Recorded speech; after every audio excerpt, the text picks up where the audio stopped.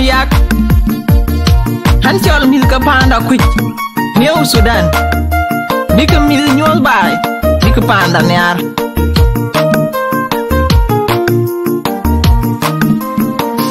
Dream Production. Kodo anje kato ni jon garanga mabiur bagbi wadya wadya ya damon je tiaro mana mabiur atim bagbi kwen go we ji diru panda e ben beat no ngarpi you know pe ben beat no ngajale new sudan e ben beat you know pe piala go gran yike ukol ke ben ke ye chum dam wan je pian jon garang na mabil jak ben bi ku bag panda gwir ji manawan kor jon man kor jagwede Nyali jangira, den chicha kanang I don't know where They were konye mada binda you weather chaka kwanyo. Johnson dagala takonywa Wadku bolo alere cheding Atim yang atim Mida bebo kwen. Niu sudan abeduka kukul kapande. Abyar chagwe Rajan karanga mabiut Ijawa na ju tong ku do ku nang ga nge do we jin nang ni we dia do ke chang da cha me ror mi ga jun ho do ka ku kul cha lu ni we Victor banya ju to ku nge we bu du panda. Do ke chang da cha me ror mi ga jun ho do ka ku kul cha lu ni we cha ba ju ga ga ra te me yang a tem ga ka yu wil bu mi kwa do ni pinda atem yang a tem anyot kwer bu ke ja nyot do le ne galam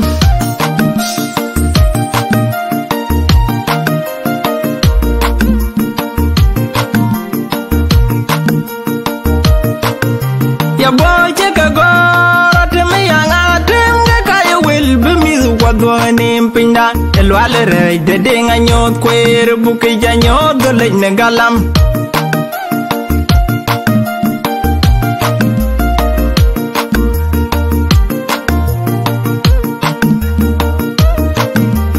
Nyali jangiran den ci jag no ngaduno wer. Ewa konye mana binda yu weda jaget kwanyo Johnson dagala ta konywa. Wad gu bolo alere jeding Atim yang atim Mida bebo kwen. Ni usudan abetuka kekul kepande Kata iwan jaga nyoro nyorore kindiri ni ni mari chang panda. Mega wawa kekul kumiz kena chila dirora Kuy tongda kuy panda Yo kemiz chang na bakaya jaga moto Ike bayan yar biya kwena kekul ke pandin Kekaya kul kegerawin bi baik Nyali chang iran den chi jak no ngadun wer E wa konya mele pinda yuwe da jaken kwanyo John tonda gela ta kunywa wadga bawlala rajadin atamiyang atim nidaba bokwen niuzudana beduka kekul ke pande. Minum sudana panda kuja beduka kekul ke pande. Wani arbai Wadga bawlala rajadin atamiyang atim nidaba bokwen niuzudana beduka kekul ke pande. Danub tu dana pan aku cabut buka kekul ke pandawan yar bay Wad ke bolal rejeting Atem yang atim Mila bebokwen Miu su dana buka kekul ke pande Danub tu dana pan aku cabut buka kekul ke pandawan yar bay Wad ke bolal rejeting Atem yang atim Mila bebokwen Miu su dana buka kekul ke pande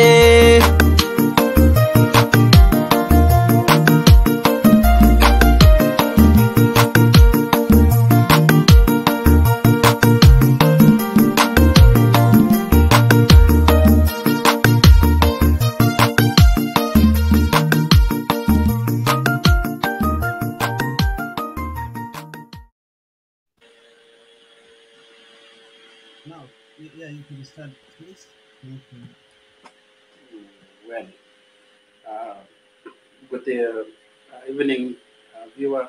Oh, good, uh, good morning, good afternoon.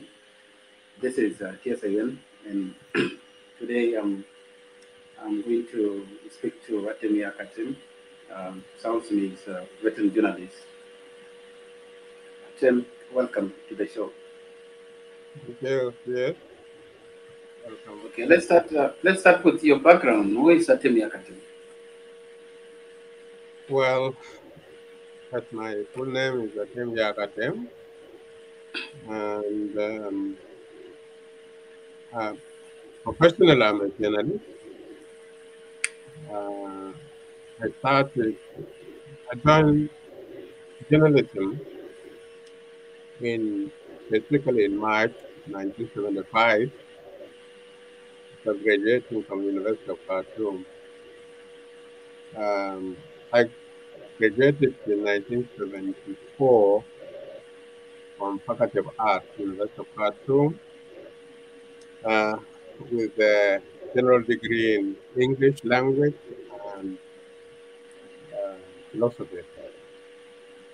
After finishing, I, uh, I was asked by the Institute of Afro-Asian Studies to, to join them in um, studying linguistics in reference to Dinka vowel system. There was a visiting professor called Professor a specialist by that time on African languages. So um, they wanted somebody with a background in linguistics uh, and also a speaker of Dinka language.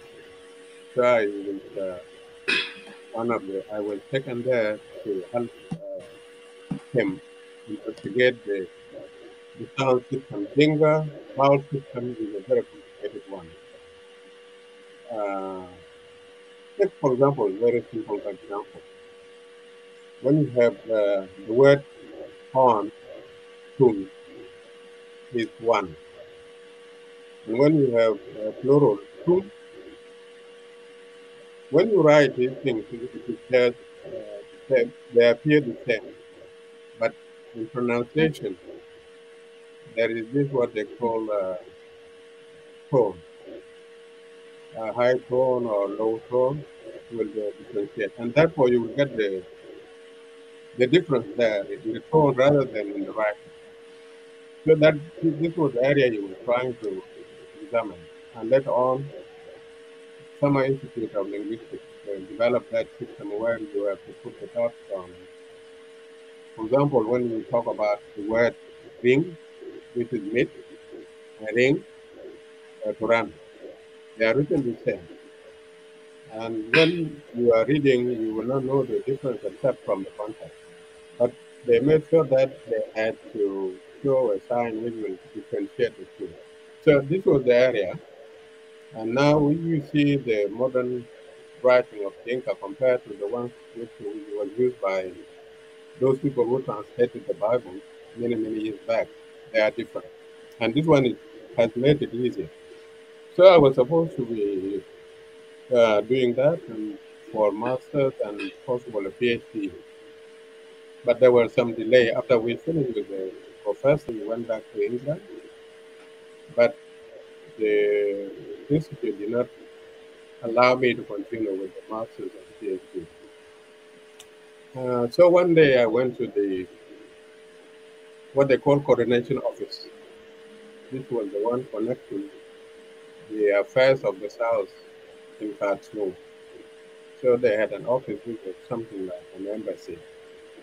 And uh, the people running it were South Sudanese. And this is where South Sudanese used to meet. Those in Khartoum, to see those who had come from Juba to get the latest news and so on. So one day I went there when I was having this problem of uh, not continuing with the study. Then I met Dr. Toby Madud, Madur. Parek was the Minister of Information in Juba. And he asked me what I was doing. I said, well, I told him what I was doing. He said, look, uh, we we have a government there in South Sudan, in Southern Sudan.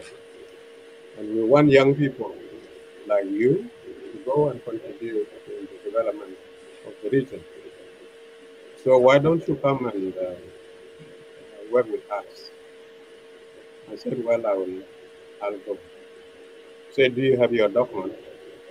And I said, oh, I will give them. I gave him my uh, certificate that uh, finished from the University of Khartoum, bachelor degree. And uh, that's how I went. I went to Juba.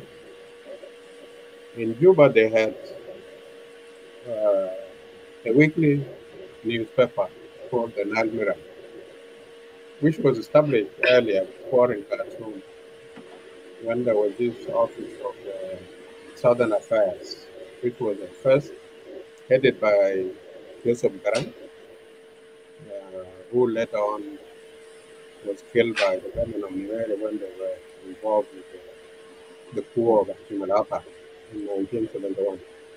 And then after that, Abel was appointed Minister of Southern Affairs. So that newspaper was published in Khartoum. And uh, later on, when the regional government was established in Juba, Nile Mirror was taken. And there were so many people who ran it as editor. One of them was uh, Michael George Garang, Garang Deng And there was somebody called, uh, so many people. Later on, Siranak Wenjal. And uh, the time I arrived there, there was Benjamin Warile, who was also a graduate from the University of.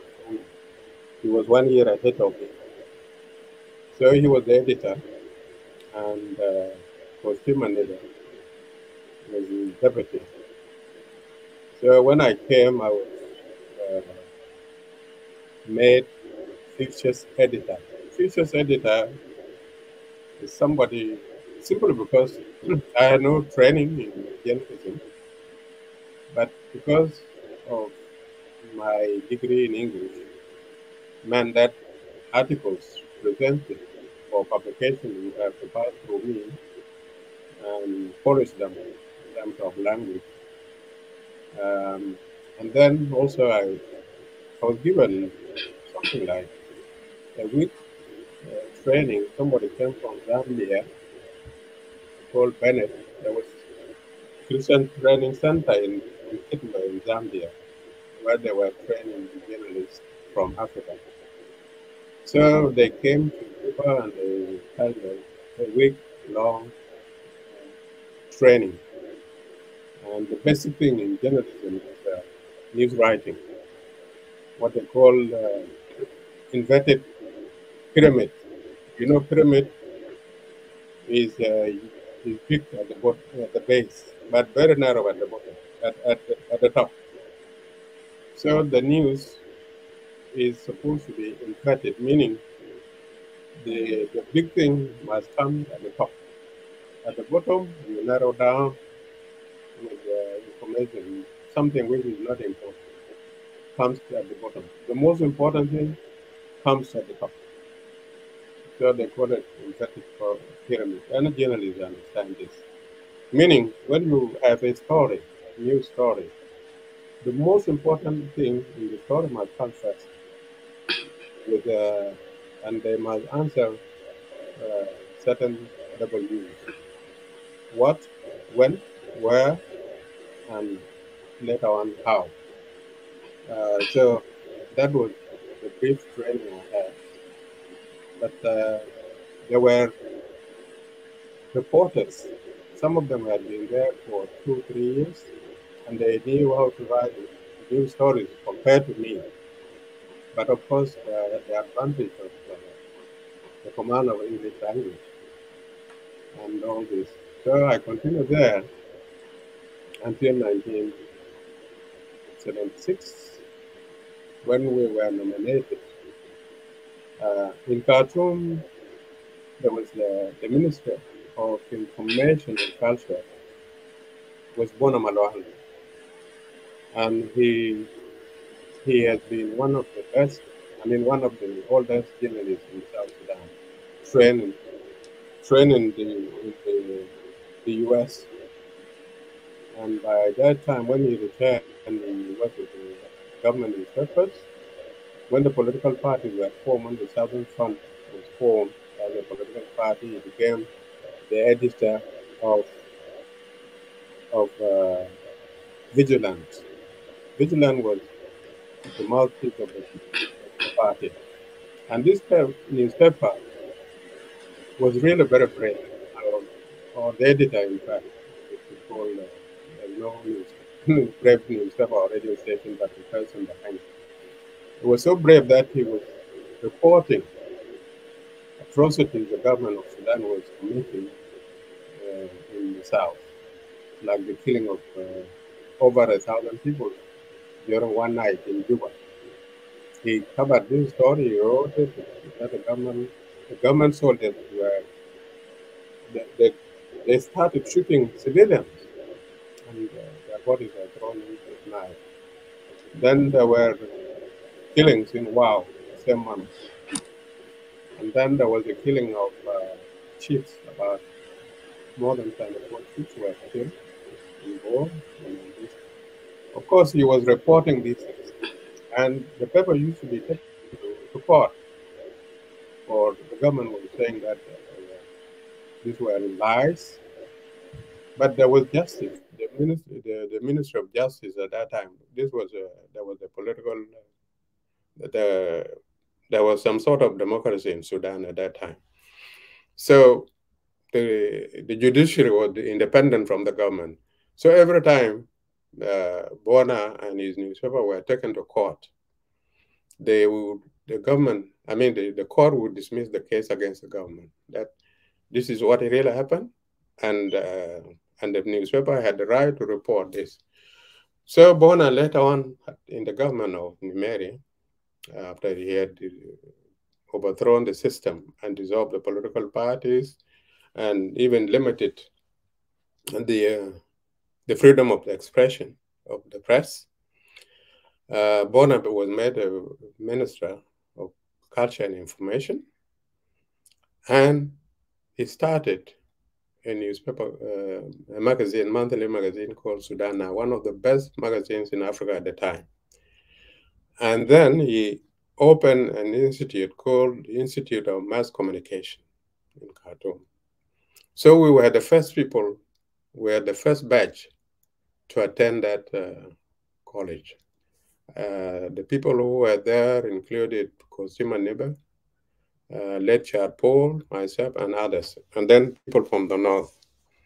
So we did the training for for seven, eight months in Khartoum, the first batch. And what did what did they teach us?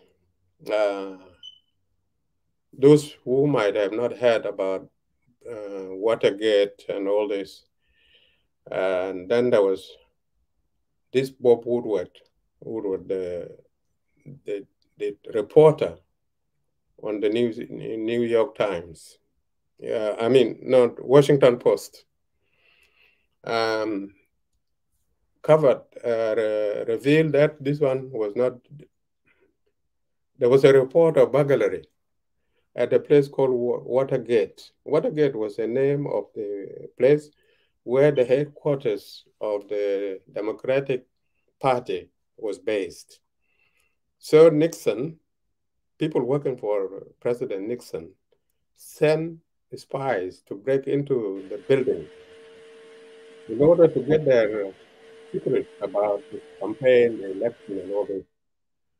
So the report went out that there has been burglary at the, and people took it just like people trying to rob things or to steal things. But so this man, uh, when was a reporter, just fresh reporter, went to investigate this as a crime rather than, I mean, not something connected with politics.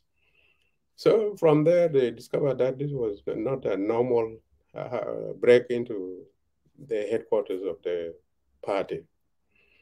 And later on, they exposed it, and this led to the, the, the, the, the resignation of Nixon. And Watergate has now become a terminology. If anything, there is something gate like the party gate in the UK now, we talk of gate, meaning scandal. So at the time, I mean, I'm going, have gone too far. At the time, uh, we were, everybody wanted to become like uh, Bob Woodward. to discover, to expose scandals. These were at the time, and we had, lecturers coming from Egypt, from the UK, from the US. This was the theory, giving us insight into the workings of uh, journalism. And that day, that time, everybody felt he was going to be an investigative journalist. Uh, when we came back to Juba, uh, Kochi went back to job as the editor of the Nile Mirror, and I was his deputy. I became his deputy. And uh, then they wanted to, Mading de Garang was the Minister of Information, uh, was planning to have a newspaper, monthly newspaper, magazine, according to him, something to be like uh, the Time, Time magazine, the American magazine you must have seen. And uh, he wanted to get a Kenyan to be the editor. And uh, Hilary Paul Logali, who was the Speaker of the uh, People's Regional Assembly, Parliament there, and before that, he was the minister, the founding minister of finance in the regional government. Uh, learned that I was trying actually to, I was trying to go to, to, Britain to work there as a journalist. I had got a job there. Then he said, no, you shouldn't go. He went to Mading de Garang and asked him, uh, why are you getting the, the Kenyan? He said, because they have experience.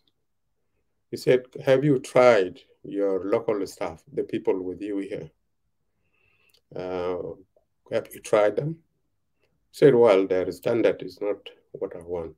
He said, You try them, and if they fail, then you can get the, you get you can get your Kenyan. And can you imagine Mading de Garang happened to come from my village, and his the, the distance was about three miles away. And here is Henry Logali from Equatoria insisting that I should be given the opportunity rather than a Kenyan.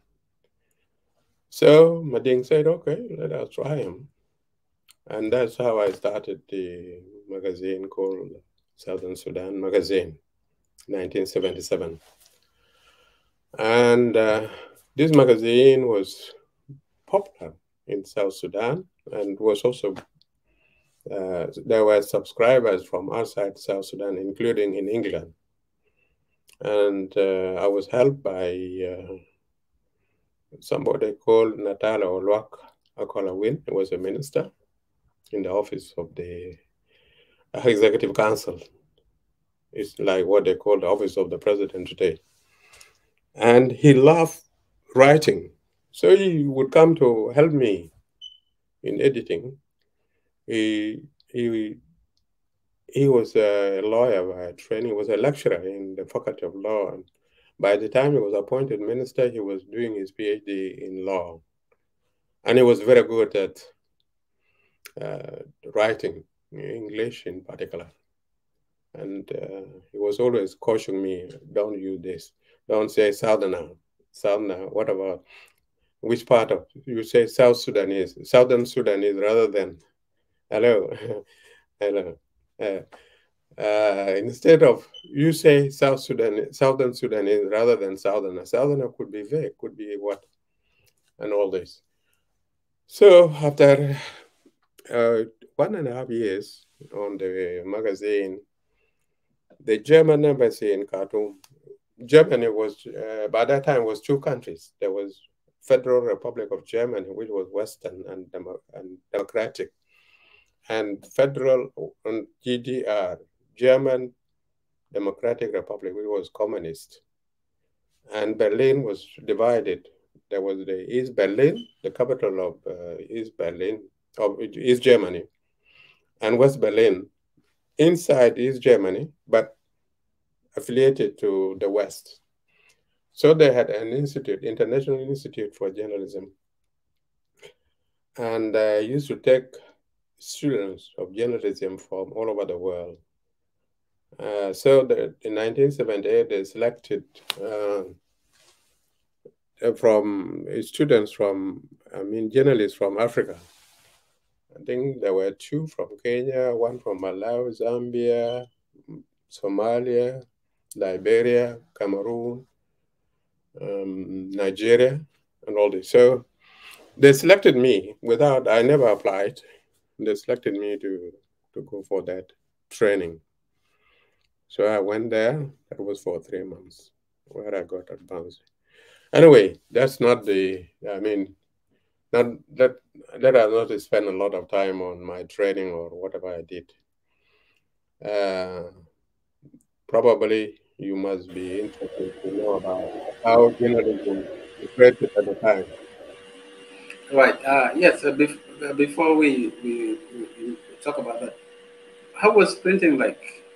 You know, given the you know the, the that era, that was uh, I would call it a, a area era of darkness. You know, technology, but you know, before technology wasn't that much. So how was it? How was it like for you to print your, your magazine?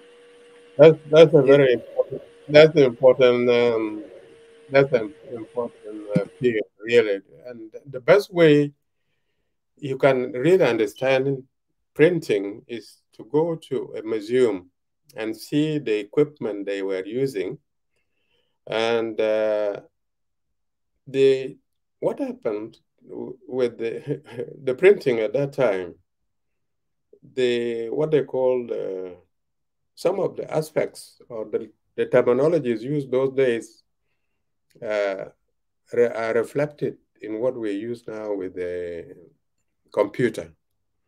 When you talk of uh, uppercase, lowercase, these were actually physical cases, drawers, drawers uh, under the, so the lower, the lowercase contain, let me call them letters. For example, like your name, AUN, small a and small a and capital A. Capital A would be what they call upper case. And this is where you put the letters there, physical metals representing letters.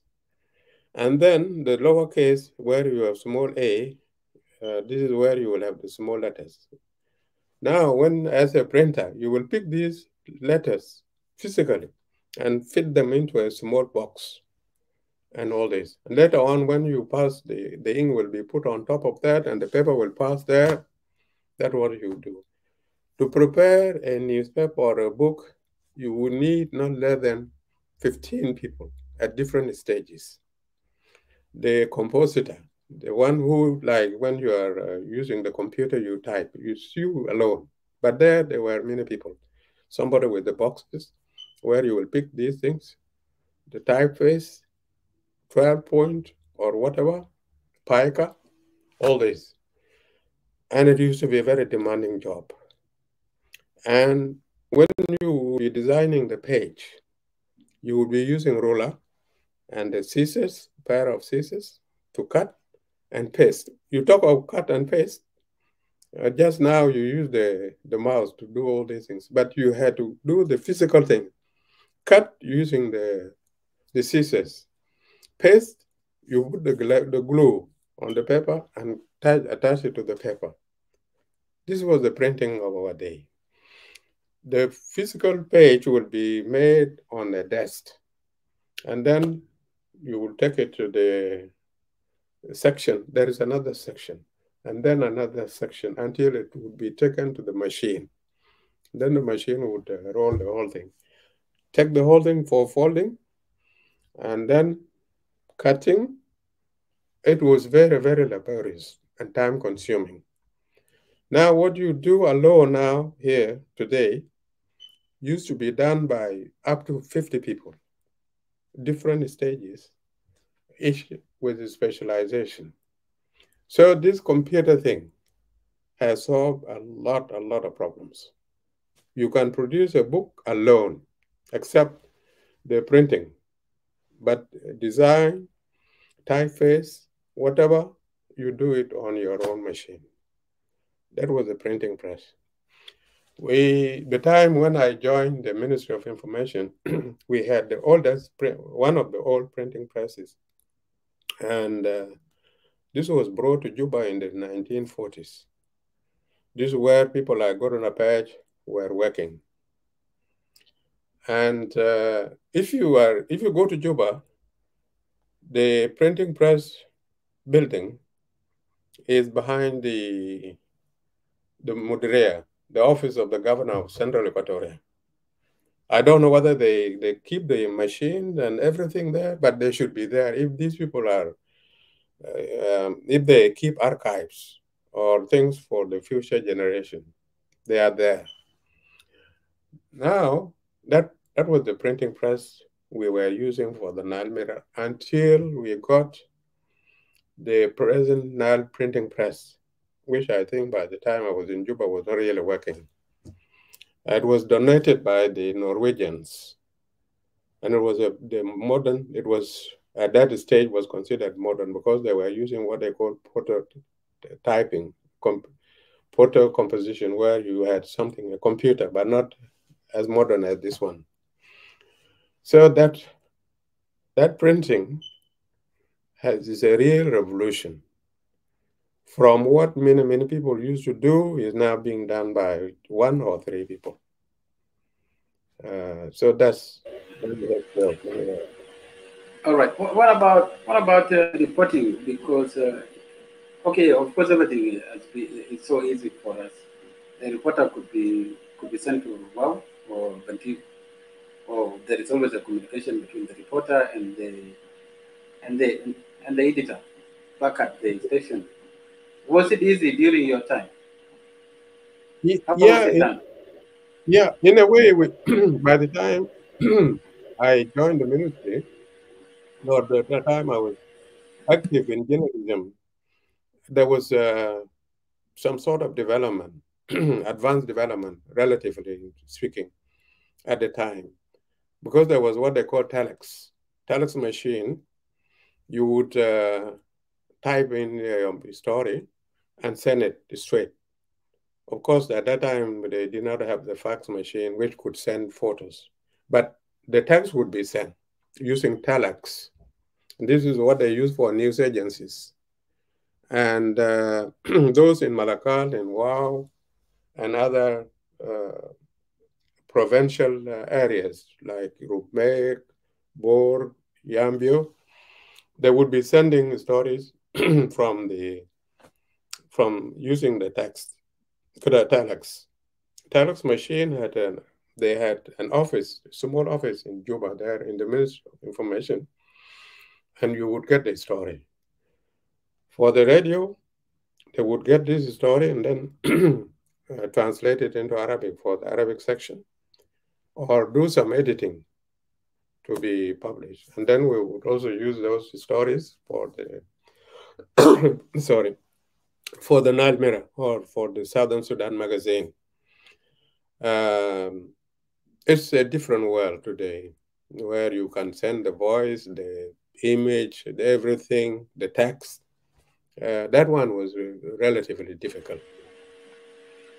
report, yeah. Yeah. Okay. Uh, okay, fast forward to to the the liberation struggle uh, period from, from 1983. Mm-hmm. Did, did uh, the South, Southern Sudan media participate? How did you participate as, as a media in general, so, Southern Sudan media? Before, before the you mean before the the 19 during the liberation from 1983 from 1983 from 1983 did the oh, yeah. southern sudan media help did it participate? Well, it depends on. We had three groups involved in the the media war. The Khartoum, which was the government of Sudan, and then uh, Juba, uh, which was representing. It used to, used to be the seat for the whole southern Sudan, but after the the, the, the dissolution of the regional government and the establishment of three autonomous regions, each one accountable to Khartoum. Radio Juba remained in Juba, and it was used. It was used by how do you call it? The the the, the regional government of Equatoria for their own. I mean, not for the whole South, but for themselves alone. Now, when the war started, there was misunderstanding that the SPLM, SPLA were a reaction to the division of the South into three autonomous regions. And uh, they tried to educate their public that these people, the SPLM, are just people very angry because the country, has, the region has been divided. The people of Upper Nile had been told to go to Malakal as their headquarters, those people from Bahr el Ghazal to Wau. Uh, but that, not, that was not the case. the SPLM and uh, John Garang, its leader, made it very clear that the reason for the SPLM to pick up arms and fight against the government of Sudan was because they were what made, what according to him, what make people angry. What are these things which make people angry? Uh, exclusion in power, sharing, um, uh, neglect, ne ne the areas like uh, the South Sudan, uh, Nuba Mountains, uh, Darfur, extreme North Sudan, Eastern Sudan were marginalized. It was only Central, Central Sudan, meaning Al Jazeera, Khartoum, which had everything, or at least the natural resources were concentrated in developing those places electricity, clean uh, drinking water, everything. But the, the regions were neglected. So Garang was saying, regardless of where the country is divided, or I mean, the South is divided or remain the same one, as long as those things which make people angry, uh, if, if the South, if there was marginalization of the majority of Sudanese from the South and the North and the East, if there were no marginalization, there would be no war. But as long as there was marginalization, the, the war was there.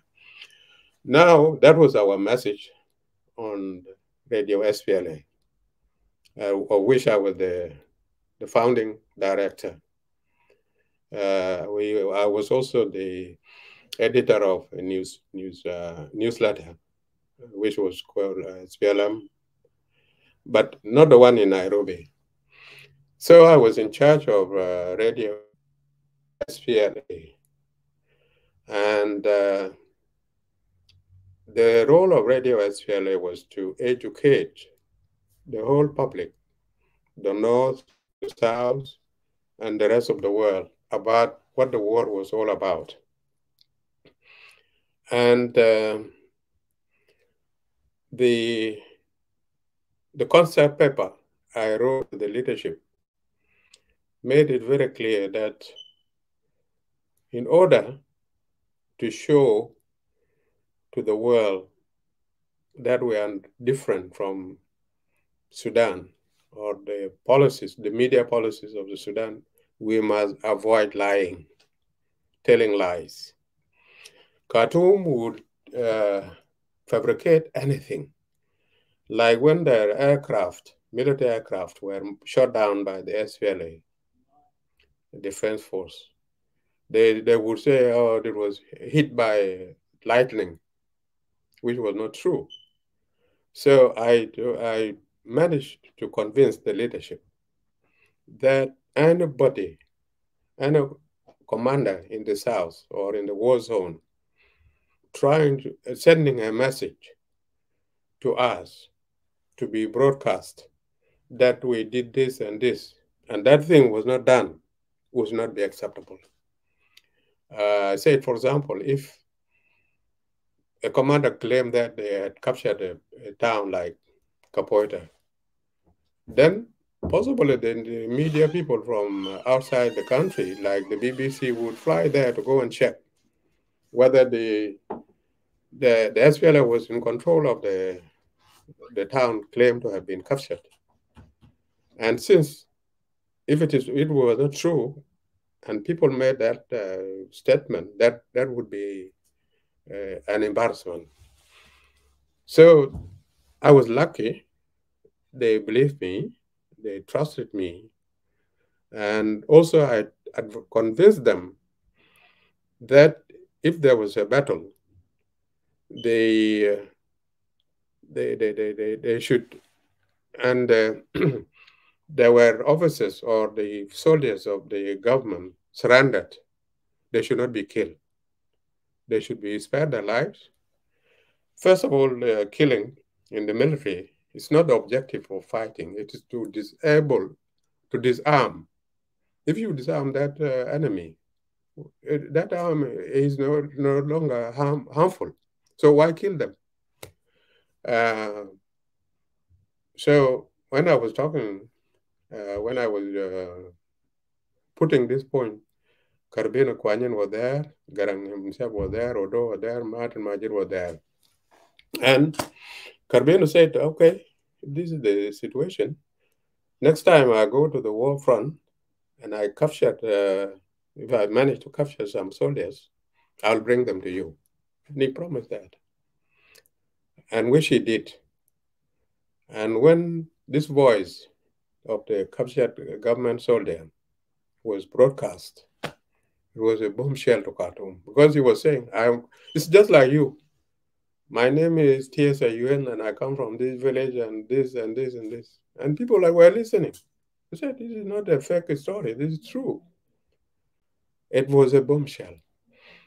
And then he came to me and said, uh, "What is it?" Uh, uh, are you happy? I said, yes, I'm happy, but this is a very small person. If you bring a senior officer, I would be happy. So he went to Southern Blue. Then they had a clash there, and then he captured Lieutenant Colonel, which was his rank also. And then somebody, Mulazim Awal, that's first lieutenant. He brought them to me. It became a routine. So the SPLM was trusted. Whatever he, whatever we broadcast, but anyway, let me tell this story now, since this is history.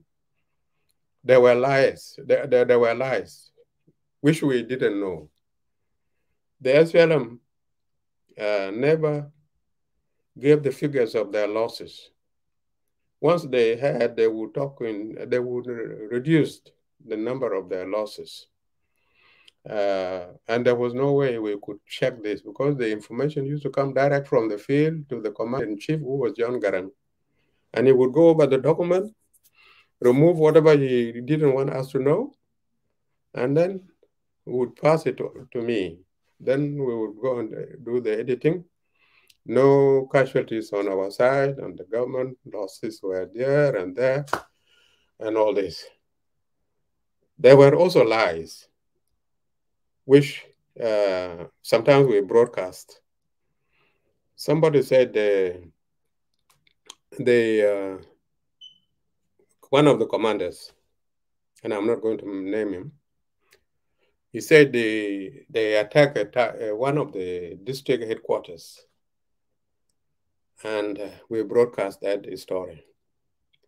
Now, we had friends not re friends, real members of the SPLM in Khartoum, those people who were supporting the SPLM in Khartoum, they, of course, they were doing it uh, secretly, otherwise they would be in trouble, uh, came to us in Addis Ababa and said, look, you people, uh, don't, don't lie.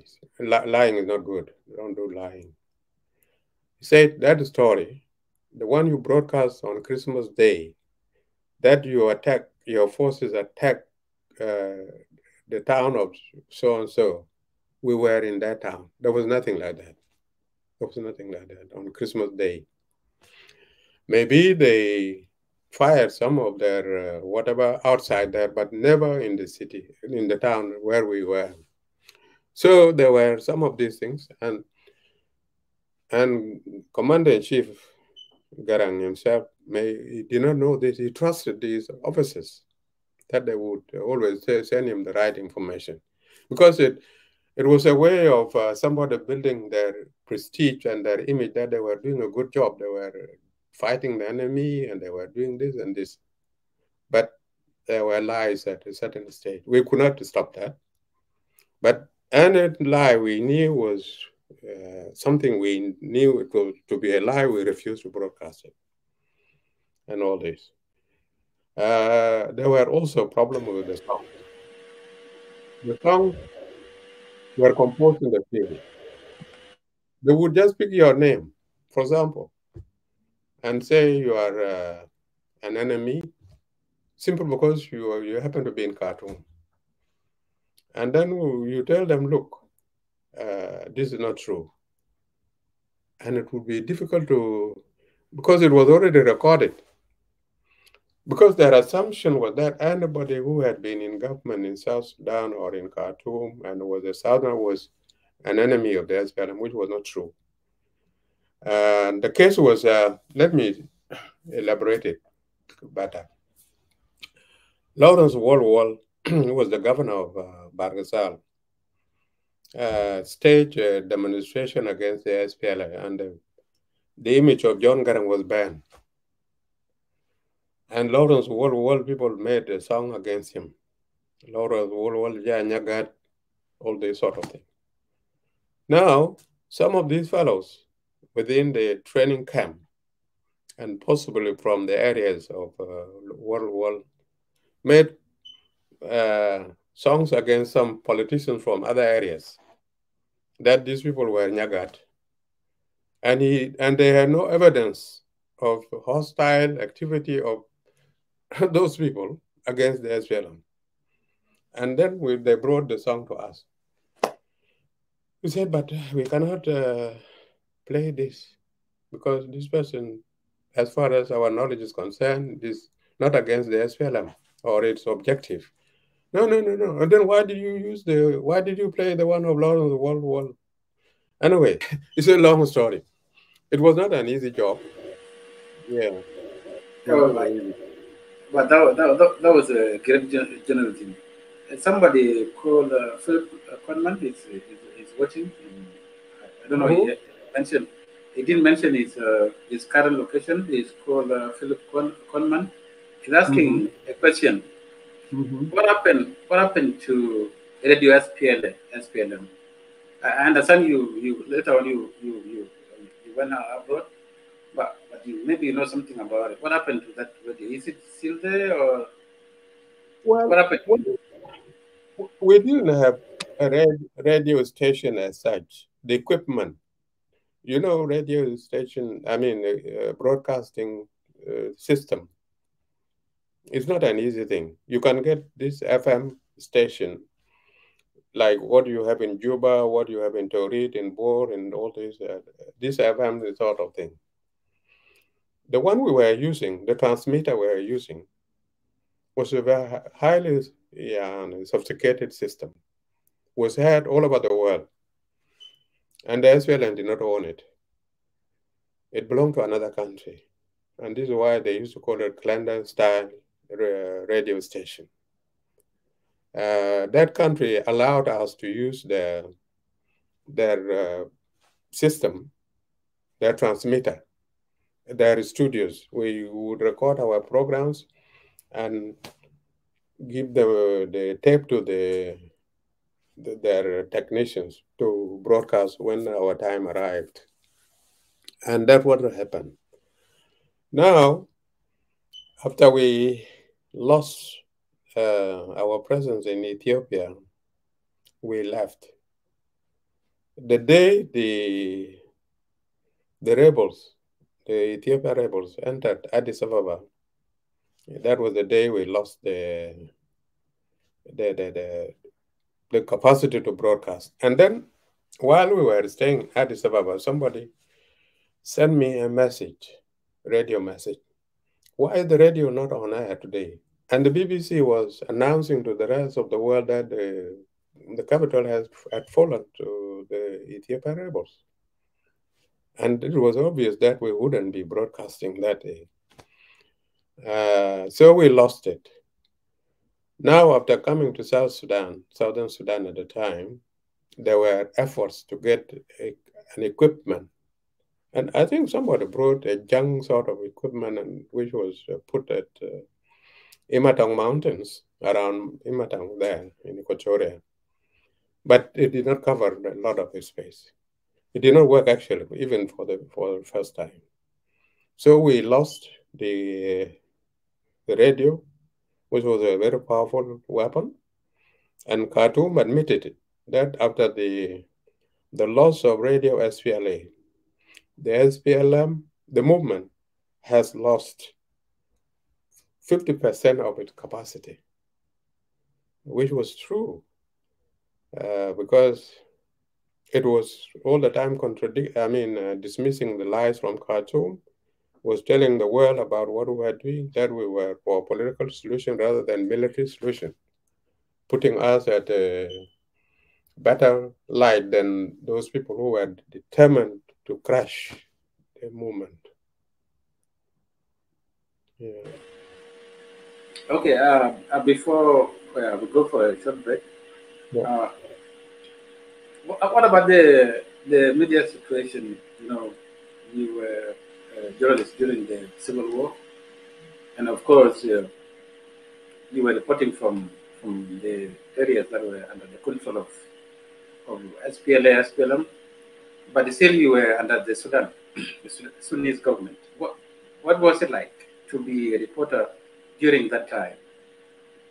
Oh, you mean the time when we were in uh, the, uh, working with the government? in the jungle, in the jungle, yeah.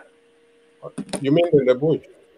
I mean, in the bush, you, you know, like you a reporter reporting about the violence. I mean, the conflict, the civil war. hmm How was the government uh, treating you or your journalists back then?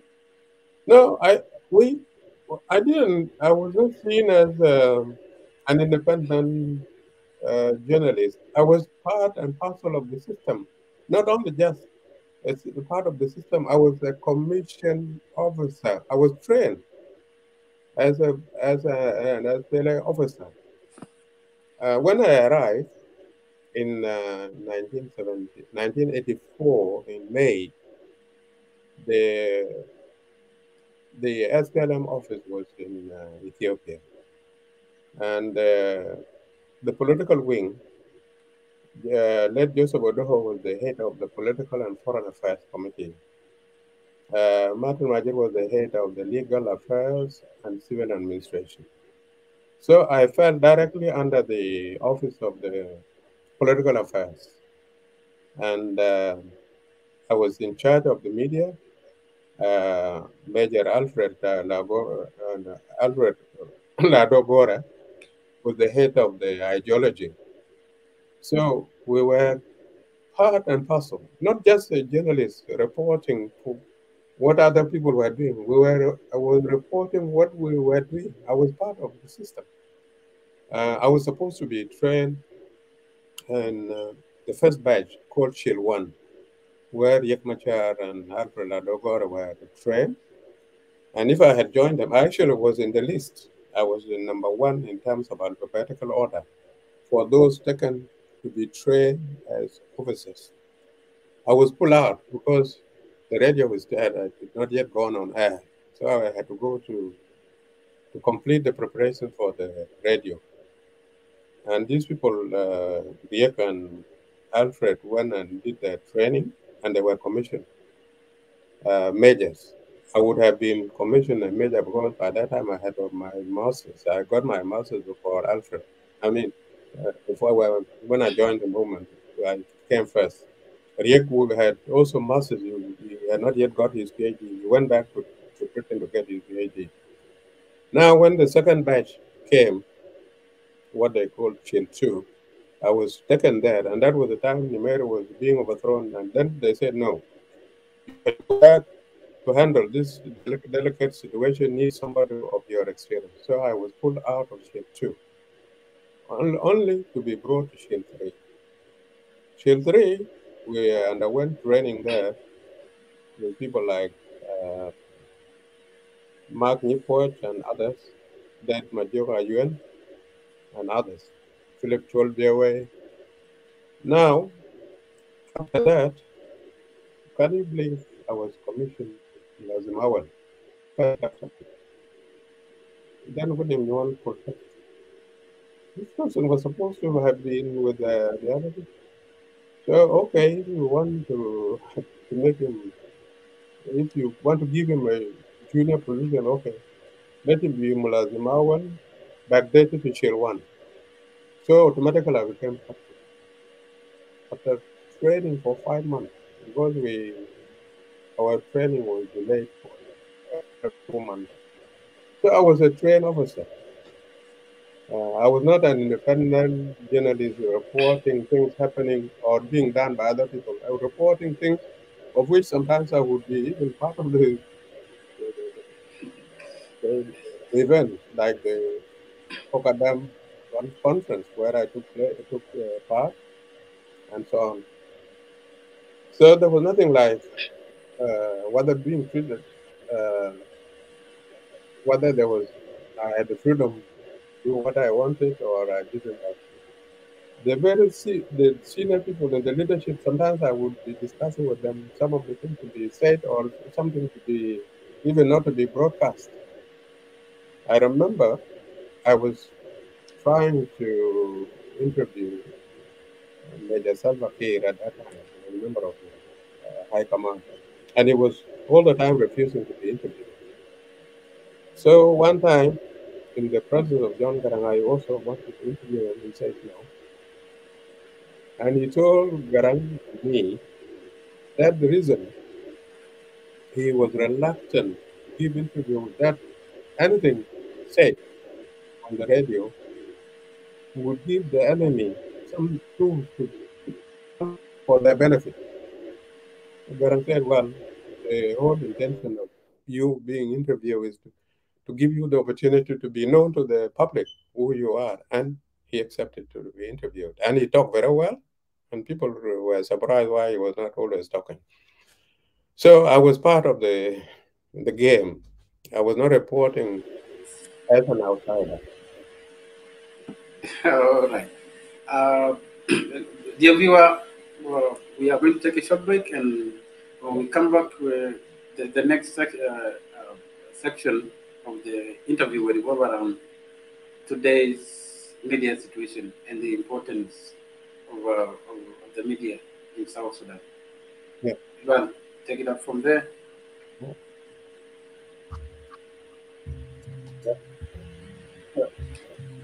You, you want me to com- comment about the, or we go for a break?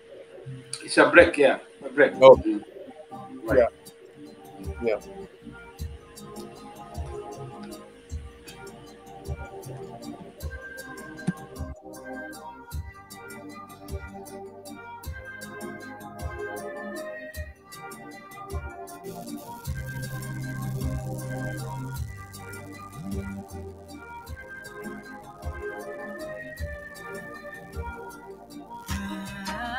Uh, uh,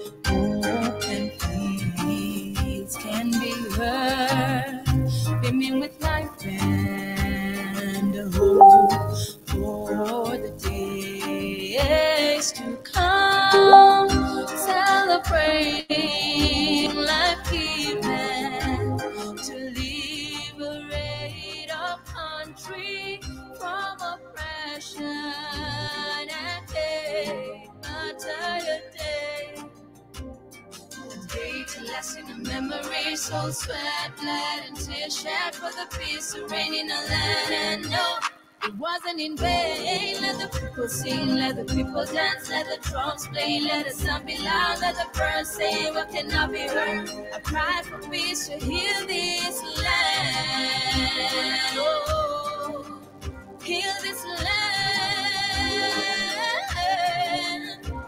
The struggle of a young nation. A vision raised by the late Dr. John Garang. Fallen heroes, healers, to make South Sudan home. We cannot let that go. We cannot stand and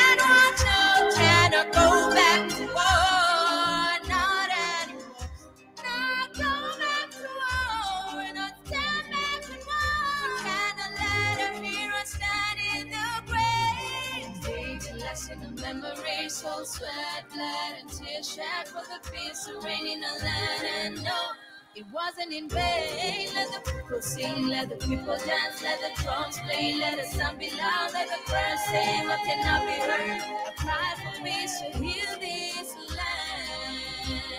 Oh, heal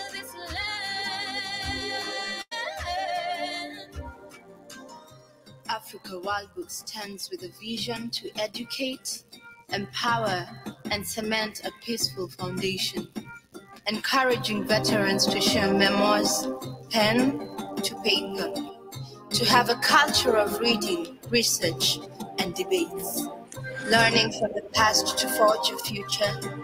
Let our children grow up in peace, let our families know no war.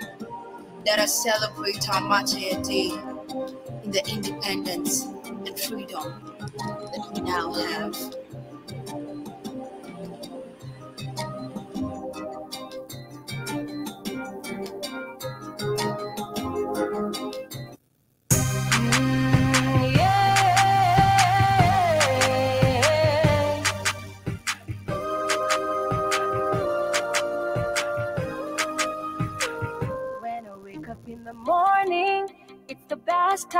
To make the most out of my day. I could maybe spread my bed then, take a bath and sit down and joke my brain. A book or two, a pencil as my tool, taking note of who I wanna be. I start my day by planning for my future in the now. Then I have to stop, wait, take a little minute, think of everything my parents do for me to help me be the best of me that there could ever be. Every time they buy me books from Africa World Books, I take a seat and leaf through the pages and draw lines, note and learn. Make sure that I do my very best for me. I get to listen to my teachers, learn all I can, then remember what I have learned. Catch every little fox that may try to win all on my word. Though this is true, without some play, Jack and Jill adore therapy. I know that if I sleep right now, tomorrow could.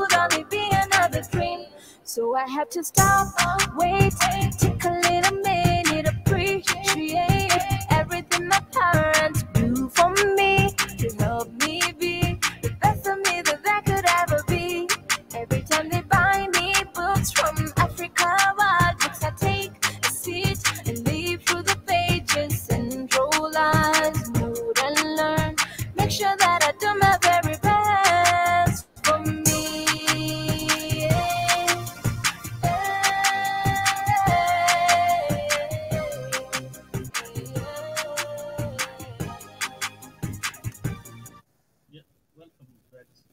Yeah.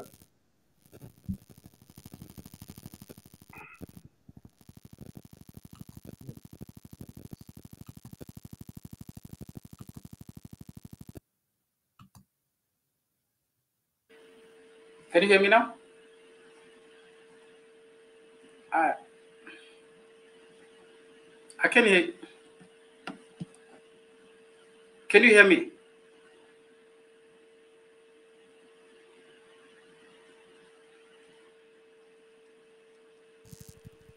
Yeah, you, you- Luan, yes. can you hear me now? Yes. All right, all right. Uh, dear, uh, dear viewer, this you are listening to a chat with uh, veteran journalist Atem Yaak Atem, and me being interviewed by me, TSA, and we are talking about the media situation, media back then, and the media right now. What the media should should should do, South South Sudan media right now. So welcome, and and anyway, feel free to to join the the chat. You could you could request one, and we will add you, or just uh, post a question, and we'll see it from we read it from here. Atem, I hope uh, everyone understands that uh, South Sudan uh, South, uh, media situation is hostile. Uh, so many human rights groups have, have reported on on how South Sudanese journalists are targeted. Some of them have been killed. Some some are some are jailed. Some media houses are censored. Threatened.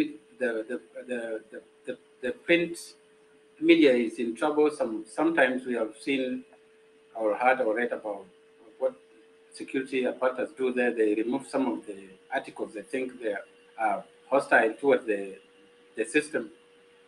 So, in your opinion, as someone who has uh, experience, what should what what should be the South Sudan media approach? How should how should how what how should what should South Sudan media do?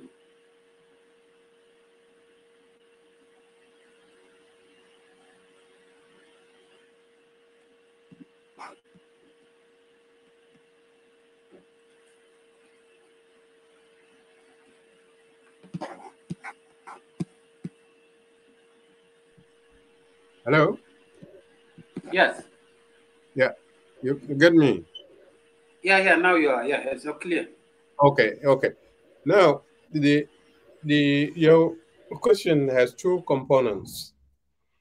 Uh, the the most important thing should be the standard, the professional standard of the, the media, whether print or electronic, meaning radio or TV.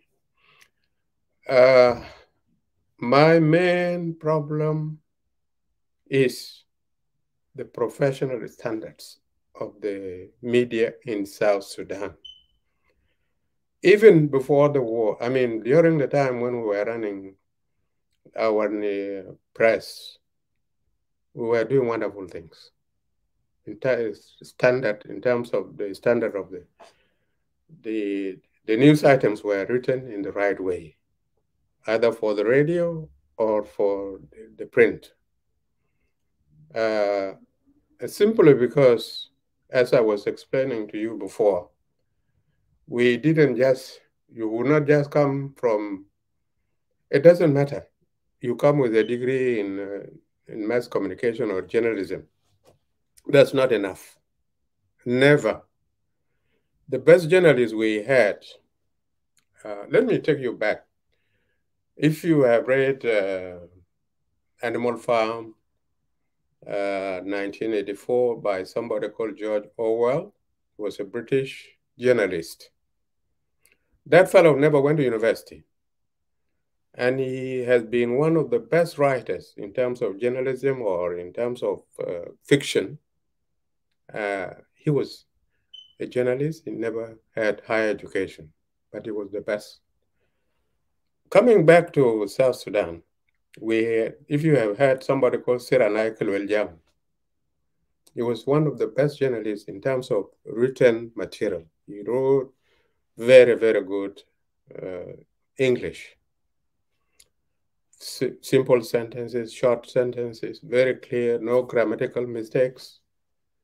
This was Siranai Kilweljam. And for your information, he, when he sat for Sudan certificate, in Rumbek Secondary School, he never got a certificate. But he trained, and he went and trained in India and in Sudan. If you read his newspaper or magazine at the time, you would be satisfied. This was the international standard. Why? Because he was he trained under people who knew the job. Job that I mean, during our day, you did not need a degree to be a journalist. You needed you needed somebody experienced who had been in the media for 15, 30 years to train you. So this this has been missing in South Sudan. You come straight from university and you become an editor. Editing what? What do you know? It is it is the only job I know which is learn on the job. It's maybe like mechanics. Uh, when you when you become a mechanic uh, with a car, you do it there physically. These people, the people in Juba, I'm sorry to say this, they may have degrees in journalism, but uh, as far as the newspaper work or the radio work is concerned or TV, they are not journalists.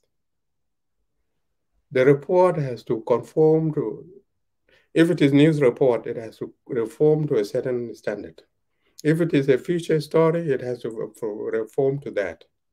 If it is news for radio, that is also because something intended for the ear is different from what is intended for the eye.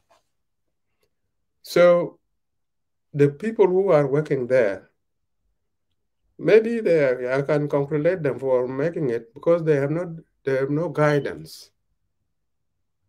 During our day, you will not be allowed to become an editor unless you have been coached enough. The editor would come with the news stories and distribute them to the people. Look at it.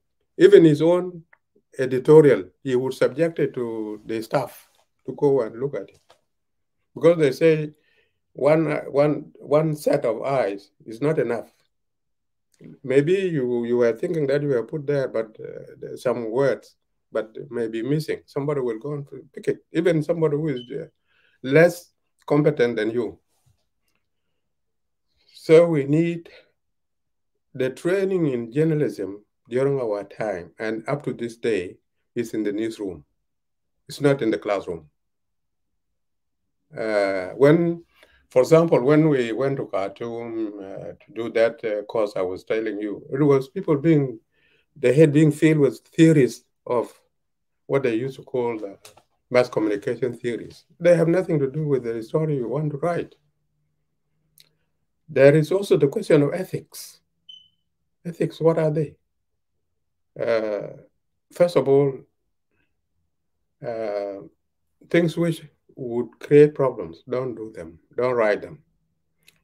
Uh, late Alfred, uh, Alfred uh, Taban uh, was one of the best journalists I know because he was very brave and he knew his job. He trained under the Khawajat for Khartoum with the Ministry of Inform uh, Information on Sudanow. So he got coaching there and he knew the job. I'm quoting him because of a story connected with this question of ethics. So the time when I was in Juba, somebody was reported to have uh, raped a small girl, a child. And that was a horrible thing. I mean, nobody, this is a bad story. But of course, you have to write it. How do you write it? You say, somebody, if the person has been arrested and all this, you could even mention their name and what they did. But don't don't give your opinion whether this is, uh, this is when it is news. Don't give opinion that this is bad or this is good or just say what happened. Unless you are quoting somebody who witnessed the story or, or the event, don't give opinion. Just say what happened, this, whether it was horrible or what. Say this happened on such a on such a date in such a place. Um, the the person allege because you have not the evidence now. It has not been proof that this is alleged, meaning not yet proof until maybe taken to court and the court uh, confirms that, uh, convicts that this person has committed this. It is treated as suspicion, allegation, and all this. So to come back to what I was talking about, so one of the reporters came with the story that such a person had committed this, and this person was from tribes X Alfred said, no. What brings the tribe there? Somebody has committed an offense or is alleged to have committed an offense. The question of uh, origin is irrelevant. Maybe age, because if this is a mature person doing this, this will also give you the idea. But no question of tribe. This is a very responsible uh, journalism. But I'm sure today somebody will say, yes, this person was from tribe X. And it could create problems, by the way, in the street. People could go and fight. So this, this is also one of the things which is lacking. Scrutiny. This story, what is it? and don't even confirm that this person has done this. You say it is alleged or claim and so on and so on. These words are not always there in some of the reportings uh, you see or read there. Uh, and then come to English. English is a foreign language. But even the, the English, somebody born as native English speaker always will have also to, to write it in a formal way, proper. Because you have to follow the rules of grammar. There are words whose, uh, which are said to have no, we don't take S. And you see people, even university degree holders, talking of uh, advices, information, equipments, aircrafts, ammunitions. where, where, where, where do you get your grammar? If you if you write these things in a newspaper, somebody, uh, sensible person will say, no, no, no, I cannot waste my time reading this story. It prejudices the reader. What type of uh, newspaper is this? And this is one of the problems we have. Uh, then again, coming to the question of no freedom of expression. You know, I don't, uh, I don't endorse dictatorship. I think many people would not like this uh, control of freedom. I mean, to to deprive people of expression. Freedom of expression is basic human right. But assuming that I'm working in Juba, where there is restriction about how far you could criticize or could say things which would displace some people in authority. I could still operate there in Juba, despite all this. What do I do? I censor myself, which is not good. It's not good. But my paper will be attractive to people because the story I will, will uh, produce will be professional. And because I know I'm not free, and not even when I'm free, this attack, abusive language, is not part of journalism. What do you want? What do you want to communicate to the authorities? You want them to change a policy which you think is wrong? Don't do it by insulting them. Persuade them. Tell them if it were done this way, it would be better for you in the government and for the people. But if you say, this is complete rubbish, you must go. Even if they were ready to listen, they will not listen because it is confrontation. So confrontation has no place even in a democracy. Just explain yourself. This is my point of view. If it is for me, this thing should be done because of this and this and this. They will listen. But if you come with abusive language and aggressive words, you have you have locked uh, you have closed the door for communication.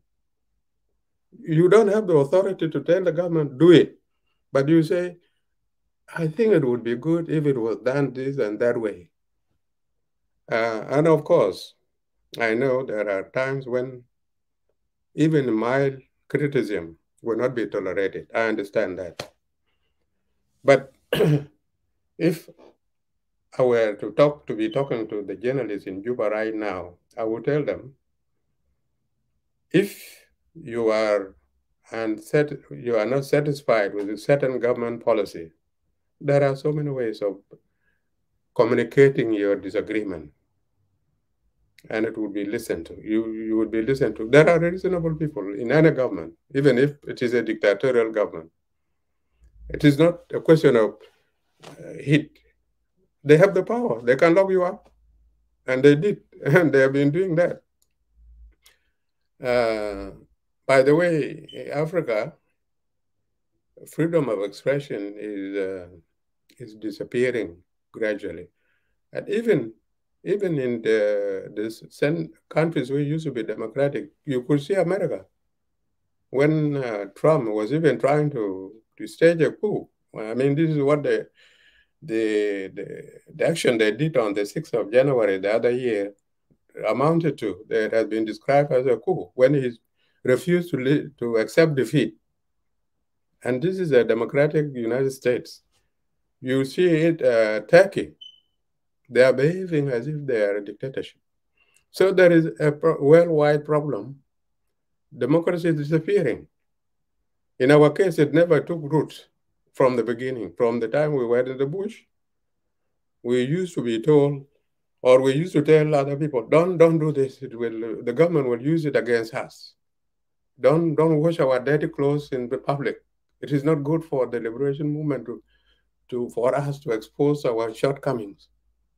Now, after becoming a government, we, we are still in that mentality. Everything not, mistakes should not be discussed. Parliament is not even questioning ministers why they are behaving this way and this way. This is not the Bush. So this transition from, uh, I don't know to call it, from dictatorship to liberal democracy, it's not easy. It's not easy. I think the only countries in Africa where you have these sort of things are uh, probably Kenya, South Africa, Botswana, Nigeria. But Nigeria, despite that freedom of expression, things are not going well. People are now being taken hostage for ransom and so many things. And then the, the Islamic militants. So there is a wide sort of, there's a, a concern about erosion of democratic principles in Africa. In some places, like in our situation, it never started. We have never been democratic since the, the war started. Yeah, because the the liberation movements always try to control people. If you allow such freedom, you would be even exposing the very principles people were fighting for. And then we did not prepare ourselves for transition from that situation to democracy, which was supposed to be the objective of the transitional government after the CPA, where Khartoum and Juba were supposed to embark on democratic transformation. It has never happened. And this is the this is what you meant. And that environment is not uh, is, is not friendly to, to the media. But again, under this situation, what do you do? Do you fold your uh, arms and say, well, it's hopeless? If I were in Juba, I still can run my newspaper. Censor myself, control what I uh, what what I publish. Tell my reporters, don't do this. Don't do investigative journalism here because there is nowhere you will publish it. And if you publish it, you will be closed down. I'm talking about the survival of the newspaper there, but they have to be professional, not to talk about advices or informations or or uh, damages. Damages are actually what you pay for uh, destroying somebody's uh, property or whatever. But when you destroy a building, don't say it cost uh, it has caused damages. Anyway, professional standards is my concern. Even if you are in a dictatorship, produce a professional newspaper or make a good broadcast. In that is, in spite of you are not free to expose certain wrongdoings. I think, has that uh, satisfied you?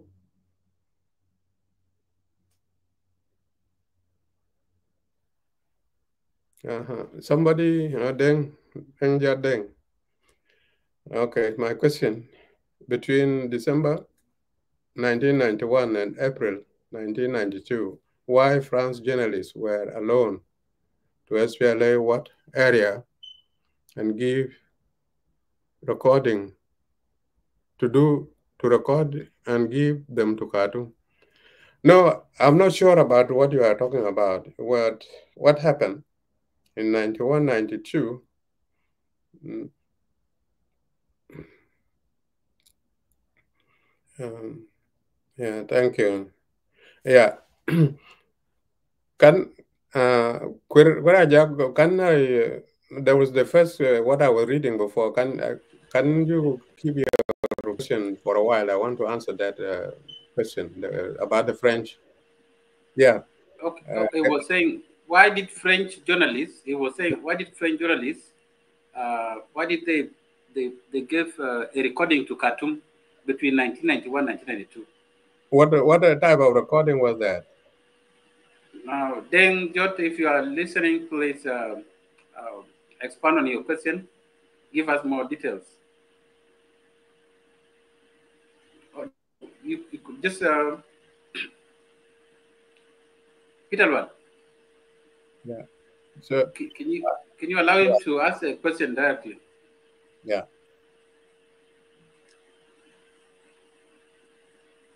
hmm It's not coming? Okay, so okay. In the meantime, in the Mhm. meantime, uh, Yeah. Achim, Yeah. somebody asked. Somebody Mhm. want. Uh, I would love you to, to to clarify something. There was Mhm. a there was a, an SPLA soldier called uh, uh, Wek Panyin Agot. Yeah. Okay, then Maduta Akejakon would love you to confirm whether whether he was a reporter, whether he was a journalist, and if you can remember. Uh, call, uh, He is called Ko- Commander P- Peter Wek Panyin Agot. He was a commander. uh, yeah, So he's yeah, asking- yeah, Peter Wek, uh, yeah, Wek, uh, he was, he was with, he was with me. He was, uh, he was a very, very good uh, uh, human being. I remember, he, you know, when I, um, when the radio was offered to the SPLA, I was still, uh, I was in, in the UK. I was studying there uh, for a master's in journalism, and uh, which the uh, the dissertation I wrote was on the the, the role of broadcasting uh, with special reference to Sudan, and that's where I got uh, my master's. So by that time, when I came, uh, the SPLA had selected some of the officers most of them NCOs. And this one was, uh, I think he was a captain or uh, Mulazim Awal. This, he was one of the, the staff. I think he was the number two in seniority of those who had been trained in Bilpam before I came. So when I came from the UK, we went to refugee camp in uh, Itang, where most of the people were staying. And then we visited uh, Bilpam, which was the SPLA general headquarters, not far from Itang, and then Bonga. I found Peter Wek with some of the other people like uh, uh, somebody, Bolicha Ward, uh, Yusuf, Ngor. Uh, there were uh, about seven, eight, eight of them. They had been trained uh, by Ethiopians, some for Arabic section, some for English. Now, when uh, when we took them to to our station as members of our staff, we found that they had not been properly trained. They were not trained properly. Peter had a problem. I don't know how to describe it. There, there's called uh, Mike something.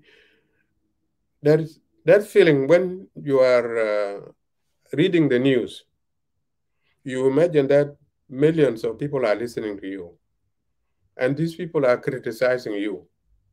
So you you you feel threatened, or you you are too shy. I think it has something to do with uh, um, introvert people. Uh, they, they call it uh, Mike fever. They fear that everybody is watching them, and they don't like that. Peter had that problem. But as a person, as far as I remember, he was one of the best people, very friendly, very kind. He had no problem with anybody, and he knew his job very well. and he could do a good job. But once he went to the studio with the, he would shiver. So he was withdrawn. And then he when uh, he was uh, sent to the general headquarters, and from the general headquarters he he was deployed to Bahr el Ghazal. And unfortunately, he, he died there. Uh, he was a great person, and even in what I'm writing about Radio SPL, I really remember him as one of the closest people to me who was working with me. I lost him a lot. Uh, then we had somebody man- managing, uh, yeah, Uncle Wood was also one of uh, our staff. Uh, then, uh, uh, how do you call it? Somebody Yusuf Ngor, uh, who, unfortunately, most of these people are not alive. Most of them have died. Many of them. Those of Theophilus uh, from the, the one who was in charge of English and Bari, and you had uh, many, many of them are not alive. Maroon Cat and others. So you, so he's asking who was he to you? And who the Who was Maroon, who was Marum Dutkat to you? Maroon Cat was, uh, I think Maroon by the way, I, I picked some people for the job they were going to do on Radio SPLA. When, for example, when I, um, I was attending the graduation of what they call Koryom. Koryom was a, a division uh, made up of 12 12,000 people. So while the, the graduation ceremony was going on, the John Garang uh, was talking in Arabic, uh, colloquial Arabic. So he asked one of the the Nuer fellows to do the interpretation to the soldiers who were uh, Nuer speakers who did not understand Arabic. So Marumdut Kat, who was by that time was uh, Mullah Thani, uh, second lieutenant, uh, uh, was was asked to come and do the interpretation, and he did it very well. And I could hear him talking, "Oh, wow, it," all these sort of things. And I found in him to, be a very good communicator. I said, "This." Is, I went to John Garang later. I said, "This, I would, I would like to take this person to go and be in charge of the Nuer program because we had planned to have uh, programs in in Nuer, in Shulu, in Bari, in Zande, in Dinka, in Lotuko, six languages. Of course, we could not accommodate all the languages of South Sudan. These people were able to come and produce programs in. Uh, there was somebody called Theophilus Luga. He was in for Bari. Marum Dutkar was for uh, the, the, the, for the Nuer. Uh, somebody called Michael Ban was for uh, Shulu. And then there was somebody for Lotuka, I don't remember. We did not have a single Zande there to come and broadcast in Zande. And later on, we were being blamed by some people. Why do you not broadcast in Zande? We said, but we don't have a single Zande in the SPLA at that time. The SPLA was the only time the, we had people from Zande, uh, speakers of Zande language, where after Western Equatoria was taken over by the SPLA. So we had five languages. Marundu Kat was broadcasting in in, in, in Nuer. And before that, he, we introduced him to, to do things in uh, classical, in colloquial Arabic. And this is where he came with the program Al Qaeda Fawad, the leaders with the with the leader with the the revolutionaries. It was a very popular program and all this. So that was Marum Kat. He was from um, he, he was from Pangak. He's uh, he's also not with us, unfortunately. Yeah. Thank you. But uh, what, what, what, do you think is the best uh, uh, uh, medium or the best uh, media for, you know, to educate uh, South Sudanese and why? Yeah, considering that the majority of South Sudanese, uh, the literacy rate in South Sudan, and you check those uh, facts from um, the UNICEF, I mean the United Nations. This, UNESCO. UNESCO. Yeah. UNICEF, yeah, UNESCO and UNICEF for children of the uh, education of children. You will get that we have the the highest level of illiteracy, people who don't write and read. And in that situation, newspapers will not be suitable for them, even if they were written in their languages. They need they need uh, radio because radio, when I broadcast in Dinka, somebody will understand it. In Bari, they will understand. You don't need to be literate in order to understand what the radio is uh, telling you. Radio uh, has been proved a long time ago, and it does not even need research, that this is the best medium for countries where there is high illiteracy. Uh, what happens is, even those days when uh, Radio was, was broadcasting to the south, they were doing it in um, they were doing it in, in, in, southern languages so that the ordinary people could understand. Now, Kenya has a system where they organize the news in Nairobi, the capital. This news item is, say, for example, let, let us take the case of South Sudan. When you talk about the need for communities, what they call tribes, to live in harmony with one another. If there is such a message, then you write it, you give it uh, in Kenya, they give it in Luo, in Kikuyu, in uh, Kalenjin, and all their languages. The same we can, and I wanted this thing last time that it should be applied because you get that message. In Jonglei, you will use uh, you will use uh, Murle, Anuak, Nuer, Dinka, only four languages. Oh, no, there are other people like Kachipo. You will, that same message will go to all these uh, ethnic groups in their mother tongue. So you are educating the people there. Tell them it's good to live in peace with your neighbor. Tell them, say, for example, like the people in part of Jonglei where there used to be this water, uh, what they call Guinea worm, friendit. Now, you tell people that this thing can be avoided by boiling water, by not walking in stagnant water. Once you avoid these things, boil your water so that the, the, the worm which creates this thing is killed. Don't walk there, you will not get the, the guinea worm. I think some of you, people people like Peter Lual, I think they know what guinea worm is. It's a terrible thing. It bores into your skin, into your body, and it comes out a white sort of thing. And when you try to pull it, it breaks and it continues growing. And it makes people miserable. Uh, mosquitoes, which cause malaria. You tell people, yeah, Jama, get mosquito nets.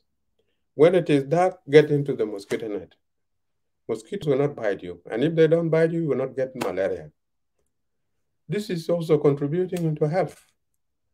And it can be done by radio, broadcasting, whether from Juba or from Jonglei, I mean from Bor, or from Ayut, or from wherever.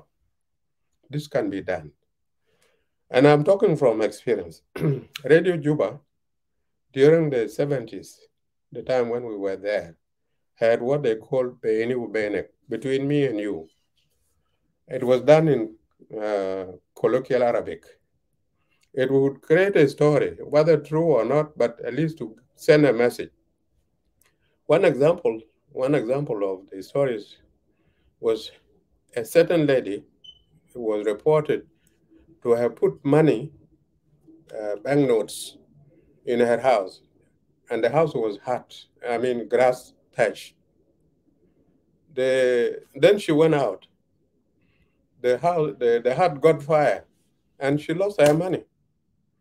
Then she came crying, "Really, what is happening? Oh, Gurushi, oh, Harak, my money got banned." Then somebody said, "My sister, well, I, you should have uh, you should have taken it to the bank, because in the bank there it will be there and it is your money. Anytime you want to go get it, you go and get whatever you want and leave the rest there safe. The bank will, and if the bank gets banned, it will compensate you. This was education, and this is what our people, ordinary people, want. Uh, radio is more for the society, what they call uh, developing countries, rather than for the educated people or uh, who know what to do about their uh, everyday life. Uh, so we need radio to talk about peace and in their language, not in English, not in Arabic, because the people in rural areas, most of them don't understand Arabic or English. So that one, and it has to be tailored what is that you want to tell to the people? Tell them migration to the cities is not good, acceptable because there are no jobs in the cities and there are no accommodations. So you stay in the countryside, look after your cattle, grow your bafra, grow your grain. You tell them through the radio. The ships will go and communicate it to them. Uh, this one, this public education, can be effectively carried out by radio. Even the peace talks, the, the, the, the, peace agreement can be translated into the languages understood by the people, not English or Arabic, because the majority of people uh, don't understand these uh, foreign languages. Well, uh, uh thanks, Robert. I, I will give uh, Manuel the chance to, to ask a question. Manuel, mm -hmm. welcome. Mm -hmm. Thank you. Thank you, Tias, uh, for the chance. And thank you, Peter Lual, for creating this meeting. It's really educational. Uh, Uncle Atem Tem, we are happy to have you on this forum, and it is really educational to all. My question is, uh, we have journalists currently in Africa, in East Africa, and in South Sudan and there is one unique future which is different from the old journalists and the current journalists. Uh, what do you think should be should be communicated to them? Well, thank you. There's a good. Uh, I mean, there's uh, an aspect I never thought about before. Uh, you know, if you are a journalist, you should take it as a, a career, a lifelong career, not just, uh, well, you can, you, it's a job where you get paid. If you are working for in a newspaper or a radio station, you will be paid. It's a job. But there is a difference between a job you do for a living and a job you do because you feel that this is your mission. What is the mission of uh, media?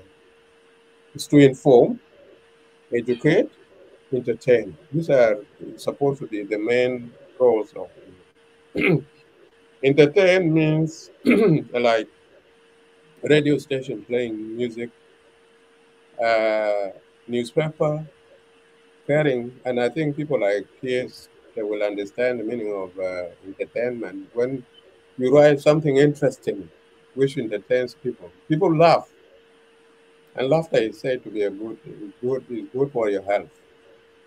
Uh, say, for example, uh, some of you might have read uh, pieces by somebody called Victor Lugala. Uh, he's a very famous uh, journalist, and he makes, he, whatever he writes, it really makes you laugh. He used to run a column in what they call Sudan, Sudan Mirror. They call uh, Shoe Shine Boy he would make fun of things. And everybody would rush for that. And the first thing column they would read was the Shine Boy. This is the good uh, part of the journalism, entertainment. with the media, with the radio or TV, music or dancing or all these sort of things. Education, uh, in the sense of like what I gave before about the Sudan New Sudan Council of Churches telling people how to manage their affairs, their life. Uh, education in the sense of somebody could come and uh, write an article about, uh, say, for example, traditional values. Uh, are some of our traditional values uh, good? Can we keep them? Can we abandon them? That person is contributing towards educating the people. Uh, may, you may disagree with them, but at least this is an attempt to enlighten the public, informing people about what happens.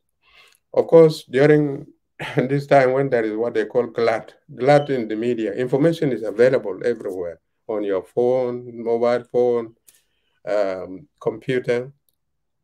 There's too, too, too much information to the to the point of saturation. You don't even need it.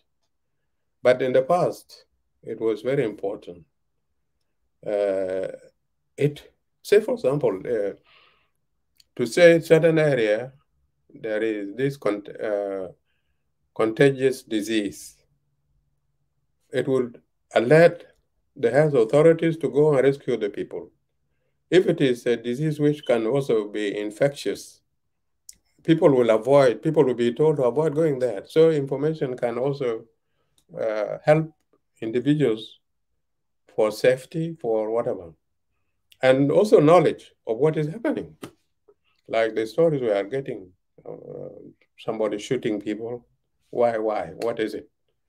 And so on. So media is important. But what you put there has to be done in a very, very professional way. No excitement, no incitement to, to violence or to preach hatred. No, that's not information. Information should be something which this is a fact. It has happened. Just like when you say the sun rises from the east to the west, it's a fact. Uh, opinions which try to create problems should not be part of journalism. It has to be a contribution to harmony, a, society where rights of others are expected. And if there is somebody trying to disrupt peace, it must, must also be exposed that this is happening and this should be stopped. And this is the work of the police, for example. Not, not to send uh, people to go and lynch them, no. So still we have radio and uh, newspapers which are relevant. They are now being threatened by social media. But it is not the social media. Like the gun, the gun does not shoot people. It is the person pulling the trigger is the one responsible. So what what prevents people from, say for example, uh, why don't you send a photograph of your graduation? I have graduated from university. This is good news for your friends and family. Oh, so and so has got a child, a baby. Oh, this is good news. It is supposed to be for carrying positive information, not destructive, not hatred. This is no longer the work of media. If it is, if people think that this is the role of media, then they are talking about something else. Yeah. Well, uh, Th- thank you. My, thank you. My last question is: uh, In East Africa, many many people are not reading. Majority of the youth are not reading. There's lack of readability among the youth. What they do is to play games on their phones. That's one. Two, in in in Australia and abroad, you, have written books. The same to Tiesa Yuen and me, but people are not buying books. African Mhm. World Book has been struggling on this. Yeah. How do we bring our community back to read books? Uh, that's one. Two, Mhm. uh, you have narrated more on the liberation struggle. But our people are now being lost day by day, and they have not written books for the young generation. How will we convince them to, to write books? Thank you. Thank you, T.S. That's the last. Yeah, thank you. the question is a bit complicated because South Sudan, uh, I think you you knew somebody called uh, William Buer, Corner Buer. Yes, yes, I know. Okay, he, he used to he had a way. He said South Sudan or Southern Sudanese at the time were uh, uh, an oral society. Oral meaning everything is passed by the word of mouth, not documented. Somebody will say, so and so did this thing, and this thing never happened. And then somebody picks that and go and relates that thing, and it goes on and on, and it has no foundation. And this is the way people are communicating. But if you challenge this person, where can I get this information, the source of this information? That person will not tell you. But for example, in your book, if you have uh, made a statement and people begin to argue about it, then you say, go and look uh, in the go to the library. You will find books X with this. This is documented things are more reliable than what you hear from other people.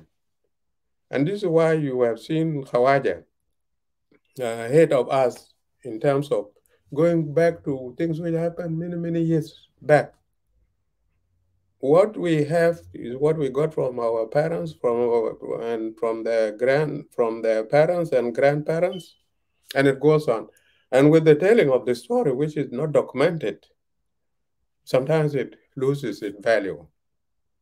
There is what they call the Chinese what, where people were telling people one from from the beginning something, and at the end it turn turn out to be different from the original word, because in the telling something gets lost. So we need documented evidence. Uh, when did this thing happen, and who was there? Uh, it was recorded by so and so. Okay, where is it? In the archives, in the book, everything. Our archives are in a very bad shape most of the documents, including the things about the liberation movement, are circulating in the some papers have disappeared. I'm even sure some of the documents of John Garang are not available. So how do we know what was happening then? Those people who have tried to document these things for the present generation and for the future, people are not ready to read. We don't love reading. This is a fact. As South Sudanese, the people who love reading are very few. It is a habit, a habit. Some people, people, you know, if you make it your habit, you will not have any problem of boredom. Uh, it will keep you busy, especially if you, if you are reading good books. And it increases your knowledge about the world. I mean, not everything written is useful. Maybe there are parts we will not agree with, but all the same read. And it also increases your, it, it keeps you up to date because language is even changing. The style somebody uses also, uh, you can borrow it. But the majority of people don't like reading. And even when you reduce the price of your books, even if you sell them for $25, and somebody is uh, making what they call uh, Arambe for whatever. Let me, let us think of uh, for uh, Fund, uh, fundraising? uh, fundraising for, uh, I don't know. Let us think of something which is not valuable of, of no value. They will they will go and pay even thousands of dollars for that thing rather than buying this cheap book. Uh, because they don't see the value of it. and even if they buy, by the way, they will not eat. It's a habit which is cultivated from even uh, student days. It becomes difficult the, the older you get, and you have not developed that as a habit. There is no way you can just sit for a day or for hours trying to finish a book. It is not one of our values. And it has become so, especially at the, the, the time of the liberation movement, we were, very few people were reading. People were not reading. And then, well, those who had the opportunity to be educated, to, to be in schools up to university, after getting their degrees, that's enough. They think that that knowledge they obtain is enough forever. But they don't know that everything is everything is changing. If it is medicine, it's, you need to be up to date. If it is everything, science, even the arts, language itself, the English we used to know in the 60s and the 50s, 70s, it's no longer, uh, some of the things are no longer, they have changed. For example, you used to talk of he, when you, the, the, the, according to lawyers, everything is he. Somebody, if he do, if he does this, he will be punished. Forgetting that uh, females are part of human society. So later on, they had to say, no, in the state of uh, discriminating women, let us talk of they. If somebody has left the car there and not properly parked, and if you found, if you find them, them refer to one person, whether a female or male, just to avoid this question of he or she. In our days, it used to be he, and this is discrimination against women, and so on. Certain words also which used to be, which are now considered to be offensive. For example, during the 60s, they used to talk of Negro for a black person. Now it's an answer. How do you get this? You get it from reading, from writing. Because people write according to the thinking of the day and all this. Knowledge of the the, uh, the southern history, uh, the SPLA, the what, are all in the books. And even some of you had been denied. I mean, it was not your mistake. To, to go to school in Kenya, you had to read uh, East African history or Kenyan history, Australia history. Wherever you have your education, that's the history you read. But you don't know the history of South Sudan. And where is it? There are books. Read them. And history of South Sudan and Sudan are one and the same. And the books are there. Those of uh, Douglas Johnson, those of uh, uh, Robert Collins, they're there. So this is a real problem. The question of lack of interest in reading. And I don't know what appeal you can make to change people's mind about that, especially now with the social media taking time of so many people.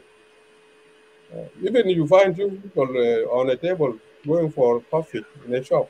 Instead of ch- chatting, everybody is busy with their uh, phone. So why did they have to go there? It's, it's a problem. And I don't think I have a solution for that. Yeah. Well, uh, we are we we are about to end the show, but uh, a, a couple of more questions for you. Mhm. They are coming from from our viewers. Uh, one, Yeah. uh, somebody. This is Queer Queer Jackbull is asking why Mhm. your your your column, why you name your your your column back then, a man far away from home. Yeah, well, I, I thought I explained it in the in my book last time. They Yeah, must what- they have not read it. Mm, yeah, what happened was there there was a an SPLM newsletter called uh, Updates. By that time, I uh, I was contributing a column. Everything was about war. A report from the war front about clashes between the government and the SPLM forces, and people writing condemning Khartoum. People writing about everything about about war. And it came to me, why is it all the time about war? Is there nothing else going on in the life of people? Uh, people are living normal life apart from the, the there's war, but people are marrying, people are producing children, people are doing this and all this. So I said, in order to, and I realized that the Khawajat were bought in Nairobi. They were the main consumers. They were bought by this sort of, we have killed this many people, we have done this, the enemy is on the run, all this, and condemnation of Khartoum policies and all this. So when I introduced this, that at least let us have a break, something different from war. Is there nothing else happening apart from war? Definitely, there are, things. There, or there were things happening outside war. So I came up with this column to break the monotony, because it, it is not everybody who would like to read that sort of thing. Can you believe the demand for the newspaper went up because these people would like to read, oh, oh how, the Dinka culture. People are okay. Uh, men are not supposed to cook. Men are not supposed to milk cows. Huh? Why? Why? Because there was this, this uh, distribution of jobs. I mean, the division of uh, jobs. Women take care of the what you bring to when you say, for example, if you go to hand and bring the, the, the meat of the whatever. Once you give it to the lady there, it is her responsibility to prepare it for everybody. Don't go and see how it was cooked or how it is distributed or who will get which share. Uh, men also, and the women, the, I mean, the hard job like hunting would be done by men, fishing by men. Once it is brought, the food brought home, then show what and this is the job of ladies. You, should, you shouldn't interfere with that. People were learning about these things. They didn't know, and so on. And I was writing about so many things, even the Dinka village lives, those days when we were kids, which today even some of you might have not known. Young people going to chat with girls in the countryside, they would travel through the dark forest, and there were animals, wild animals, and all this. In order to go to, there used to be what they call huts for girls. Sisters or cousins would be having uh, their, their hut separate from the one of the parents and the brothers and all this. Now, these young people coming, they would be seated, they would be given part of the, the hut, and the girls separate them, and they would spend the whole night chatting this is what they call GOG. Uh, and this is where people realize which girl they would like to marry. And all they, they were surprised because this was educating these people about the customs, the, the Dinka society of the day. So it was something to break this uh, monotonous sort of uh, war, war, killing, killing. Talk about other things. Well, so that was the origin of the thing. oh, thank you, uh, Tim. Uh, the the most talked about uh, issue today uh, amongst all Sunnis all over the world. Yeah, is uh, is uh, the dredging of, of, of, of one of the rivers or whatever they are about to do. Everyone's talking about it. The government is talking about it. Junubina are talking about it. Whatever they are somebody called uh, Jacob Pietro would like to, to know your comment, your view as a South Sudanese about this. And before and, and, and, and you answer it before you say your last comment. Mm-hmm. What do you think about about the dredging? What is your, your, your comment about about the dredging of Nam River? Yeah, you see the you were talking before about the media not being free, uh, that the journalists are not uh, writing as they should. Uh, I'm sure if people are writing about, uh, I mean, asking questions about this in Juba, in the newspapers there, it's likely to get you into trouble. But that's exactly what the newspaper is supposed to do to bring up issues of the day for discussion. Uh, also to ask the members of uh, legislative assembly, which is the law-making body, to ask the government, what is this thing happening? Why is it being done? Why are we not informed? Why is the public not informed? Uh, I'm supposed to be telling you and others uh, what is happening, but unfortunately, I'm an interested party. I'm an interested party in the sense that there is no transparency in these things.